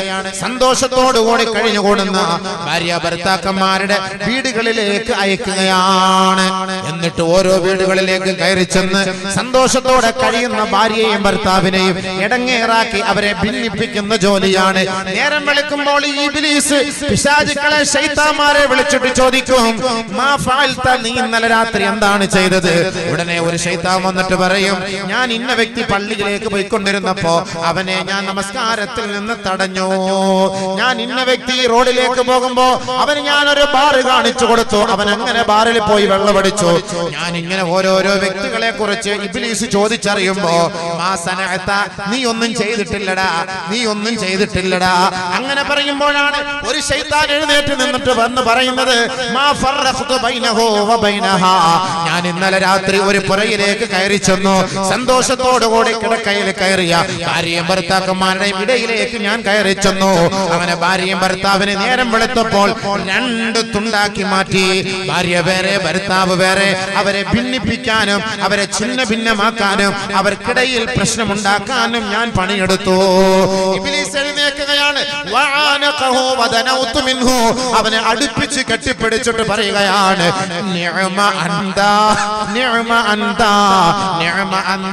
നീയാണ് നല്ല പണിയെടുത്തത്. ഇബിലീസ് ഞാൻ പറഞ്ഞ അവൻ നിസ്കരിക്കാൻ അവനെ. നിസ്കരിക്കാൻ പോയി. ഒരുത്തൻ ജ്യൂസ് കുടിക്കാൻ പോയപ്പോ ഞാൻ ബാറ് കാണിച്ചു വെള്ളം അടിക്കാൻ പോയി. ജ്യൂസ് കുടിക്കാൻ പോയി ബാറ് അടിച്ചു വെള്ളം അടിച്ചു. അപ്പോഴാണ് ഒരു ചങ്ങാതി എടുത്ത് പറഞ്ഞത്? സന്തോഷത്തോടു കൂടി ലഡുവൊക്കെ തിന്നിട്ട് രാത്രി കിടന്നുറങ്ങിയ ഭാര്യയും ഭർത്താവിന്റെ ഇടയിൽ ഞാൻ പോയിട്ട് കിടന്നു. നേരം വെളുത്തപ്പോ ഒരു- പെണ്ണിനെ പിടിച്ച് ഞാൻ തെള്ളിയിട്ട് ഒരാളെ പിടിച്ച് ഞാൻ മാറ്റിയിട്ട്. ഭാര്യയും ഭർത്താവും രണ്ടും രണ്ട് വേഗമായി ഓ ഇത് വലിയ ഇഷ്ടപ്പെട്ടു. പെട്ടെന്ന് കയറി കെട്ടിപ്പിടിച്ച് ഉമ്മ വെച്ചിട്ട് പറഞ്ഞു നീയാണ് നല്ലവൻ. എന്ന് പറഞ്ഞാൽ സന്തോഷത്തോടുകൂടി ഭാര്യയും ഭർത്താക്കന്മാരും ജീവിക്കുമ്പോൾ അതിനെ തകർക്കാൻ വരുന്നവരാണ് ഇബിലീസ്. എങ്ങനെ ഇബിലീസ് വരുന്നത്? ഇന്ന ശൈത്താന യഅതി ഇലാ ഫിറാശി അഹദികും. നിങ്ങളുടെ അല്ലോ, ഞാൻ അറിഞ്ഞില്ല സംഭവം ഓവർ ടൈം ആയി ദാ, ദാ, ഇതൂടെ ഇതൂടെ പറഞ്ഞു തീർത്തേക്കാം.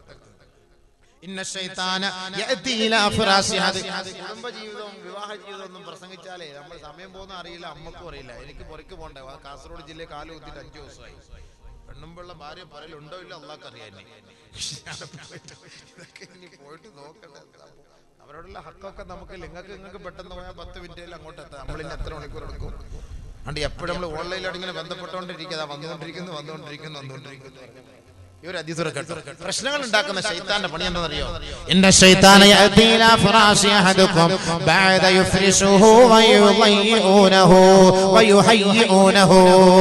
ഭാര്യ തന്റെ മുറിയെല്ലാം തുടച്ച് വൃത്തിയാക്കി വെടിപ്പാക്കി ബെഡ്ഷീറ്റ് വിരിച്ച് വൃത്തിയാക്കി സ്പ്രേ ഒക്കെ അടിച്ച് റാഹത്തായി. എന്റെ ഇച്ഛ ഇപ്പൊ ഒരു റാഹത്തായിട്ട് കിടന്നുറങ്ങട്ടെ വിശ്രമിക്കട്ടെ എന്ന് ധരിച്ചുകൊണ്ടൊരു ഭാര്യ തന്റെ മുറിയെല്ലാം വൃത്തിയാക്കി വെടിപ്പാക്കിയിട്ടാൽ ആ മുറിയിലെ മുറിയിലേക്ക് കടന്നു വരികയാണ്. ഇഞ്ഞ വന്നെല്ലാം വൃത്തിയാക്കിയിട്ട് നല്ല സ്പ്രേ ഒക്കെ അടിച്ച് നല്ല ഇച്ച വന്നുകൊണ്ടിരിക്കുന്ന ബാംഗ്ലൂരിൽ നിന്ന് വരികയാണ്. മംഗളൂർ എത്തി. അങ്ങനെ മംഗളൂരിൽ നിന്ന് ഇങ്ങനെ വന്നുകൊണ്ട് തലപ്പാടിയൊക്കെ എത്തി ഇങ്ങനെ വരുമ്പോൾ ഓൾ പെട്ടെന്ന് വൃത്തിയാക്കി റൂമൊക്കെ ഉച്ച വന്ന റാഹത്താട്ട് കിടക്കട്ടെ. ഉച്ചയ്ക്ക് ഇതെല്ലാം വൃത്തിയോട് കണ്ടാൽ ഇഷ്ടപ്പെടൂല. റാഹത്തെല്ലാം വിരിച്ചിട്ട് ഇതല്ലേ ഇതിന്റെ ഓൾ അങ്ങോട്ട് പോയി അടുക്കളയ്ക്ക് പോയി. അടുക്കളയിട്ട് പോയപ്പോ ശൈത്താൻ അവിടെ വന്നു ബെഡ്റൂമിൽ വന്നിട്ട് അലൈഹിൽ വൽ ഹജറ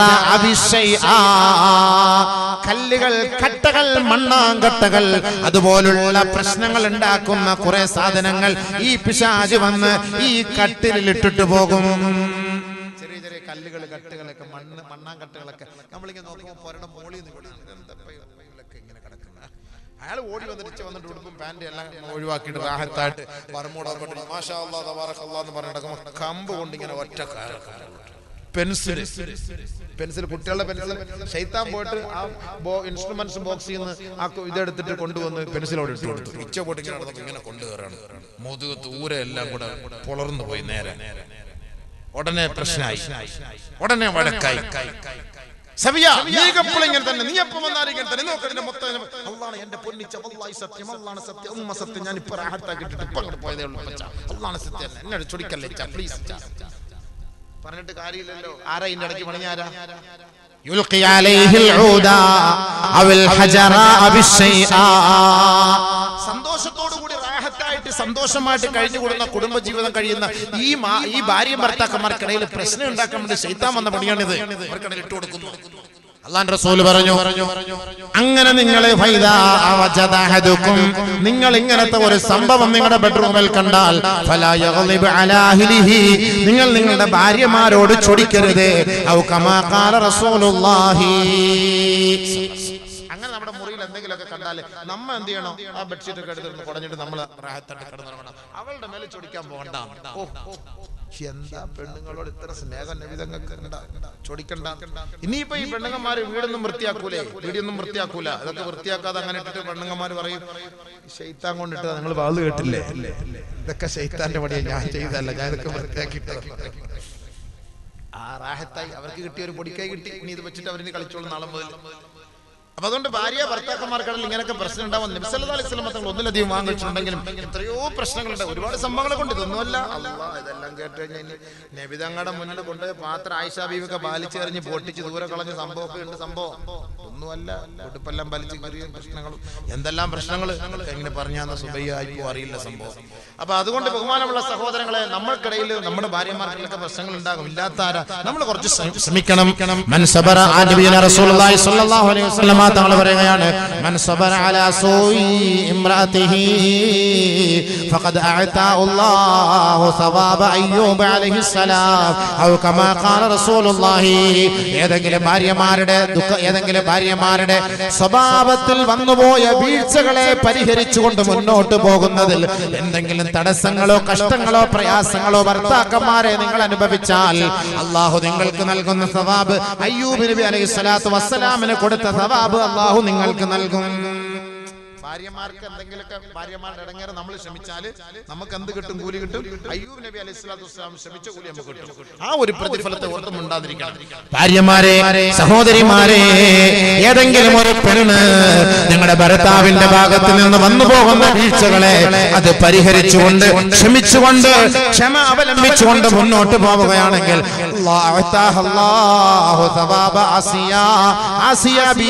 സവാബ് അള്ളാഹു അവൾക്ക് നൽകുമത്രേ.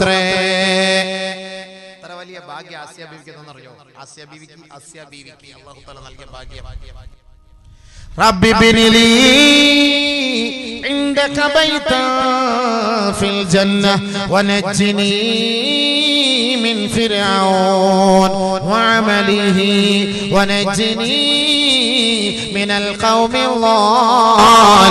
الظالمين ഒരു സംഭവം കൂടെ പറഞ്ഞ് ഞാൻ നിർത്തിയേക്കാം ഇങ്ങനെയാണ് പോയിക്കൊണ്ടിരിക്കുന്നുണ്ട് ഒന്ന് വന്ന് മഹതിയായ ഖദീജ റളിയല്ലാഹു തആല അൻഹ വഫാത്തിനോട് അടുത്ത് കിടക്കുകയാണ്. മരിക്കാറായി കിടക്കുന്ന ഖദീജ ദഖല അലൈഹ റസൂലുള്ളാഹി സ്വല്ലല്ലാഹു അലൈഹി വസല്ലം വഹിയ ഫിൽ മൗത്ത്.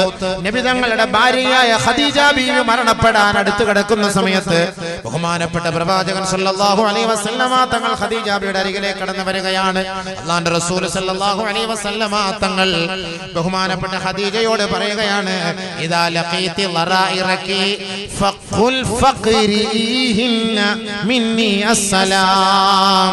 എന്റെ ഖദീജ നീ സ്വർഗത്തിൽ പോകുമ്പോ നിന്റെ കൂട്ടുകാരികളെ കാണുമ്പോൾ എന്റെ സലാം നീ അവർക്കൊന്ന് അറിയിക്കണേ. എന്റെ കൂട്ടുകാരികൾ എന്ന് പറയുമ്പം എന്റെ സലാമ് നിന്റെ കൂട്ടുകാരികൾക്ക് അറിയിക്കണമെന്ന് പറയുമ്പം നബിതങ്ങളുടെ കാമുകിമാരായിരിക്കുമല്ലോ ഭാര്യമാരായിരിക്കുമല്ലോ. അങ്ങനെ അല്ലെങ്കിൽ പിന്നെ അങ്ങനെ വരുമല്ലോ. അല്ലെങ്കിൽ പിന്നെ അങ്ങനെ പറയേണ്ട കാര്യമില്ലല്ലോ. എന്റെ പെണ്ണ പെണ്ണുങ്ങന്മാർക്കൊക്കെ സലാം പറഞ്ഞാൽ പറഞ്ഞാൽ മതി.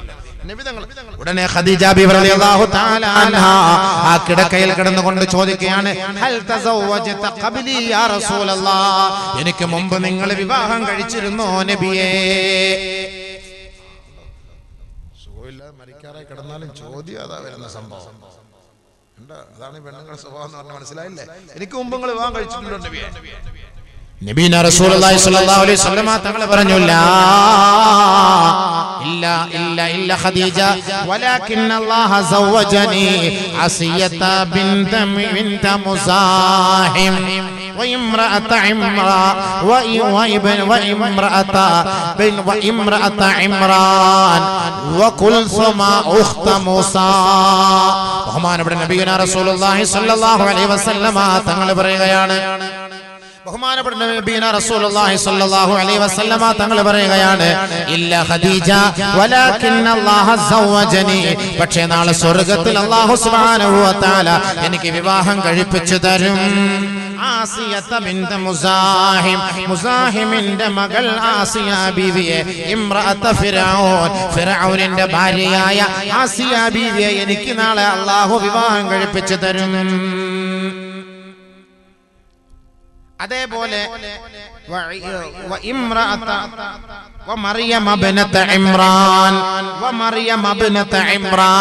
ഇമ്രാന്റെ മകൾ മറിയം ബീവിയെ എനിക്ക് നാളെ അള്ളാഹു വിവാഹം കഴിപ്പിച്ചു തരും. അതേപോലെ നബിയുടെ സഹോദരിയെ എനിക്ക് അള്ളാഹു വിവാഹം കഴിപ്പിച്ചു തരും. അവരെ നീ കണ്ടാൽ എന്റെ സലാം ഒന്ന് പറയണേ. അലൈഹി തങ്ങളുടെ ഈ തൃക്കല്യാണം തൃക്കല്യാണം എന്നൊക്കെ നമ്മൾ പറയാറില്ലേ? ആ സാധനം എന്ന് പറയുന്നത് ഇതായിരിക്കും.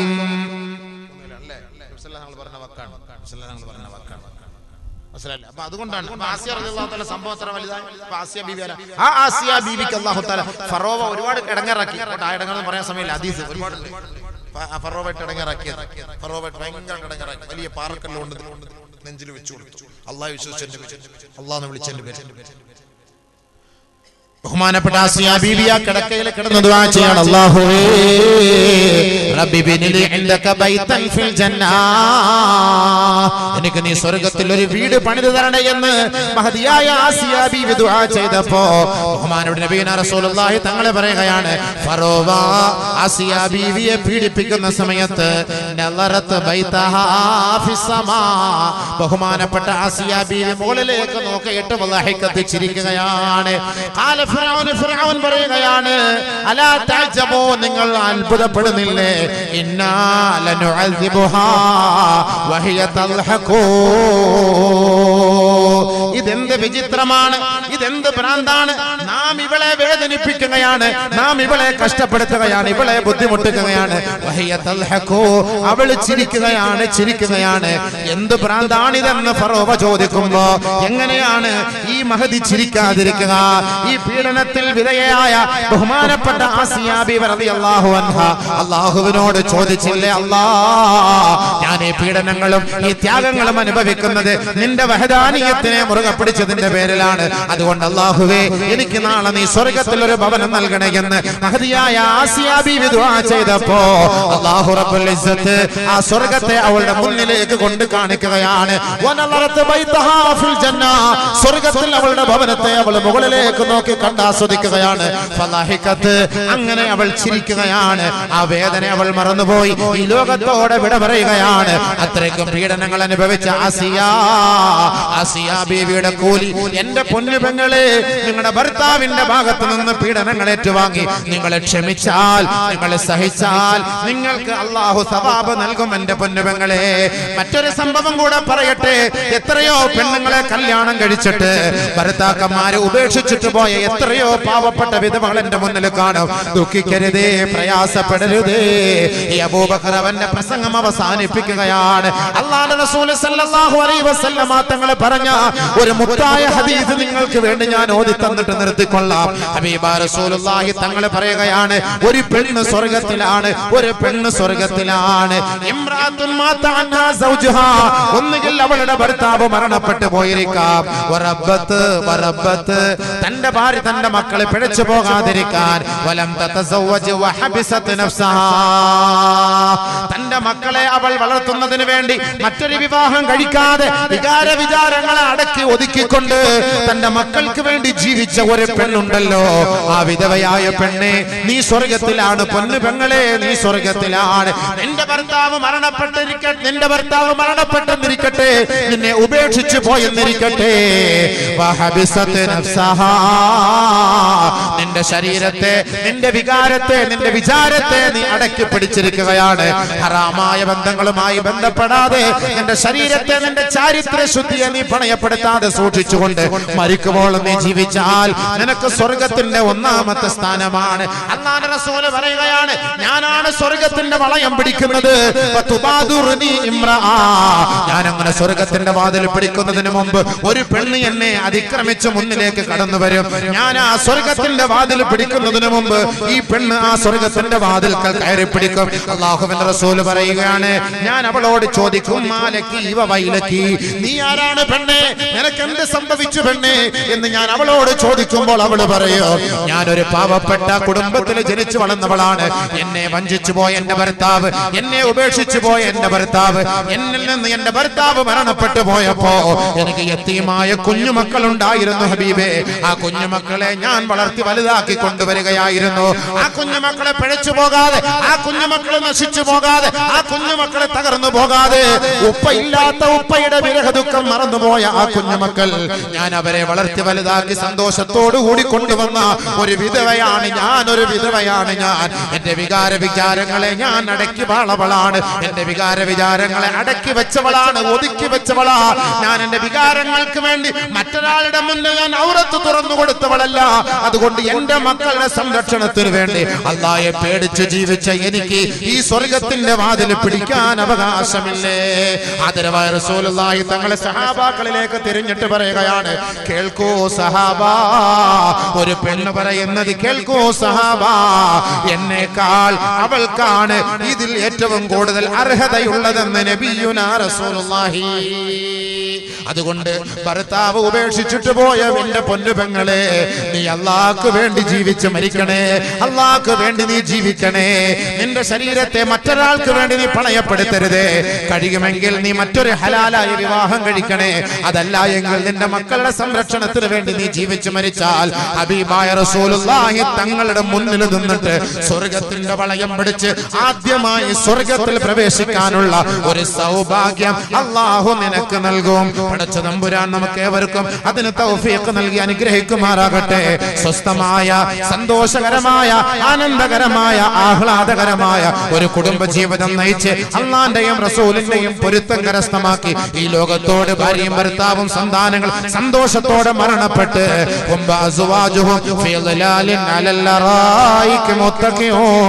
എന്ന പരിശുദ്ധമായ ഖുർആാനിന്റെ വചനത്തെ മുൻനിർത്തി ആ സ്വർഗലോകത്ത് ഇന്ന് ദുനിയാവിൽ പരിലസിക്കുന്നത് പോലെ സ്വർഗീയ ആരാമത്തിൽ പരിലസിക്കാൻ ജഗത്തിന്റെ ഉടമസ്ഥനായ തമ്പുരാൻ അരിഷിന്റെ ഉടമസ്ഥനായ തമ്പുരാൻ ആദമിനെയും ഹൗവയെയും സൃഷ്ടിച്ച ഉടമസ്ഥനായ തമ്പുരാൻ സ്വർഗത്തെയും നരകത്തെയും പരിചയപ്പെടുത്തി തന്ന തമ്പുരാൻ ഈ സദസ്സിൽ ഒരുമിച്ച് കൂടാൻ അനുവദിച്ച തമ്പുരാൻ നമുക്ക് ഏവർക്കും തൗഫീഖ് നൽകി അനുഗ്രഹിക്കുമാറാകട്ടെ. വആഖിറു ദുആഇ അനിൽ ഹംദുലില്ലാഹി റബ്ബിൽ ആലമീൻ.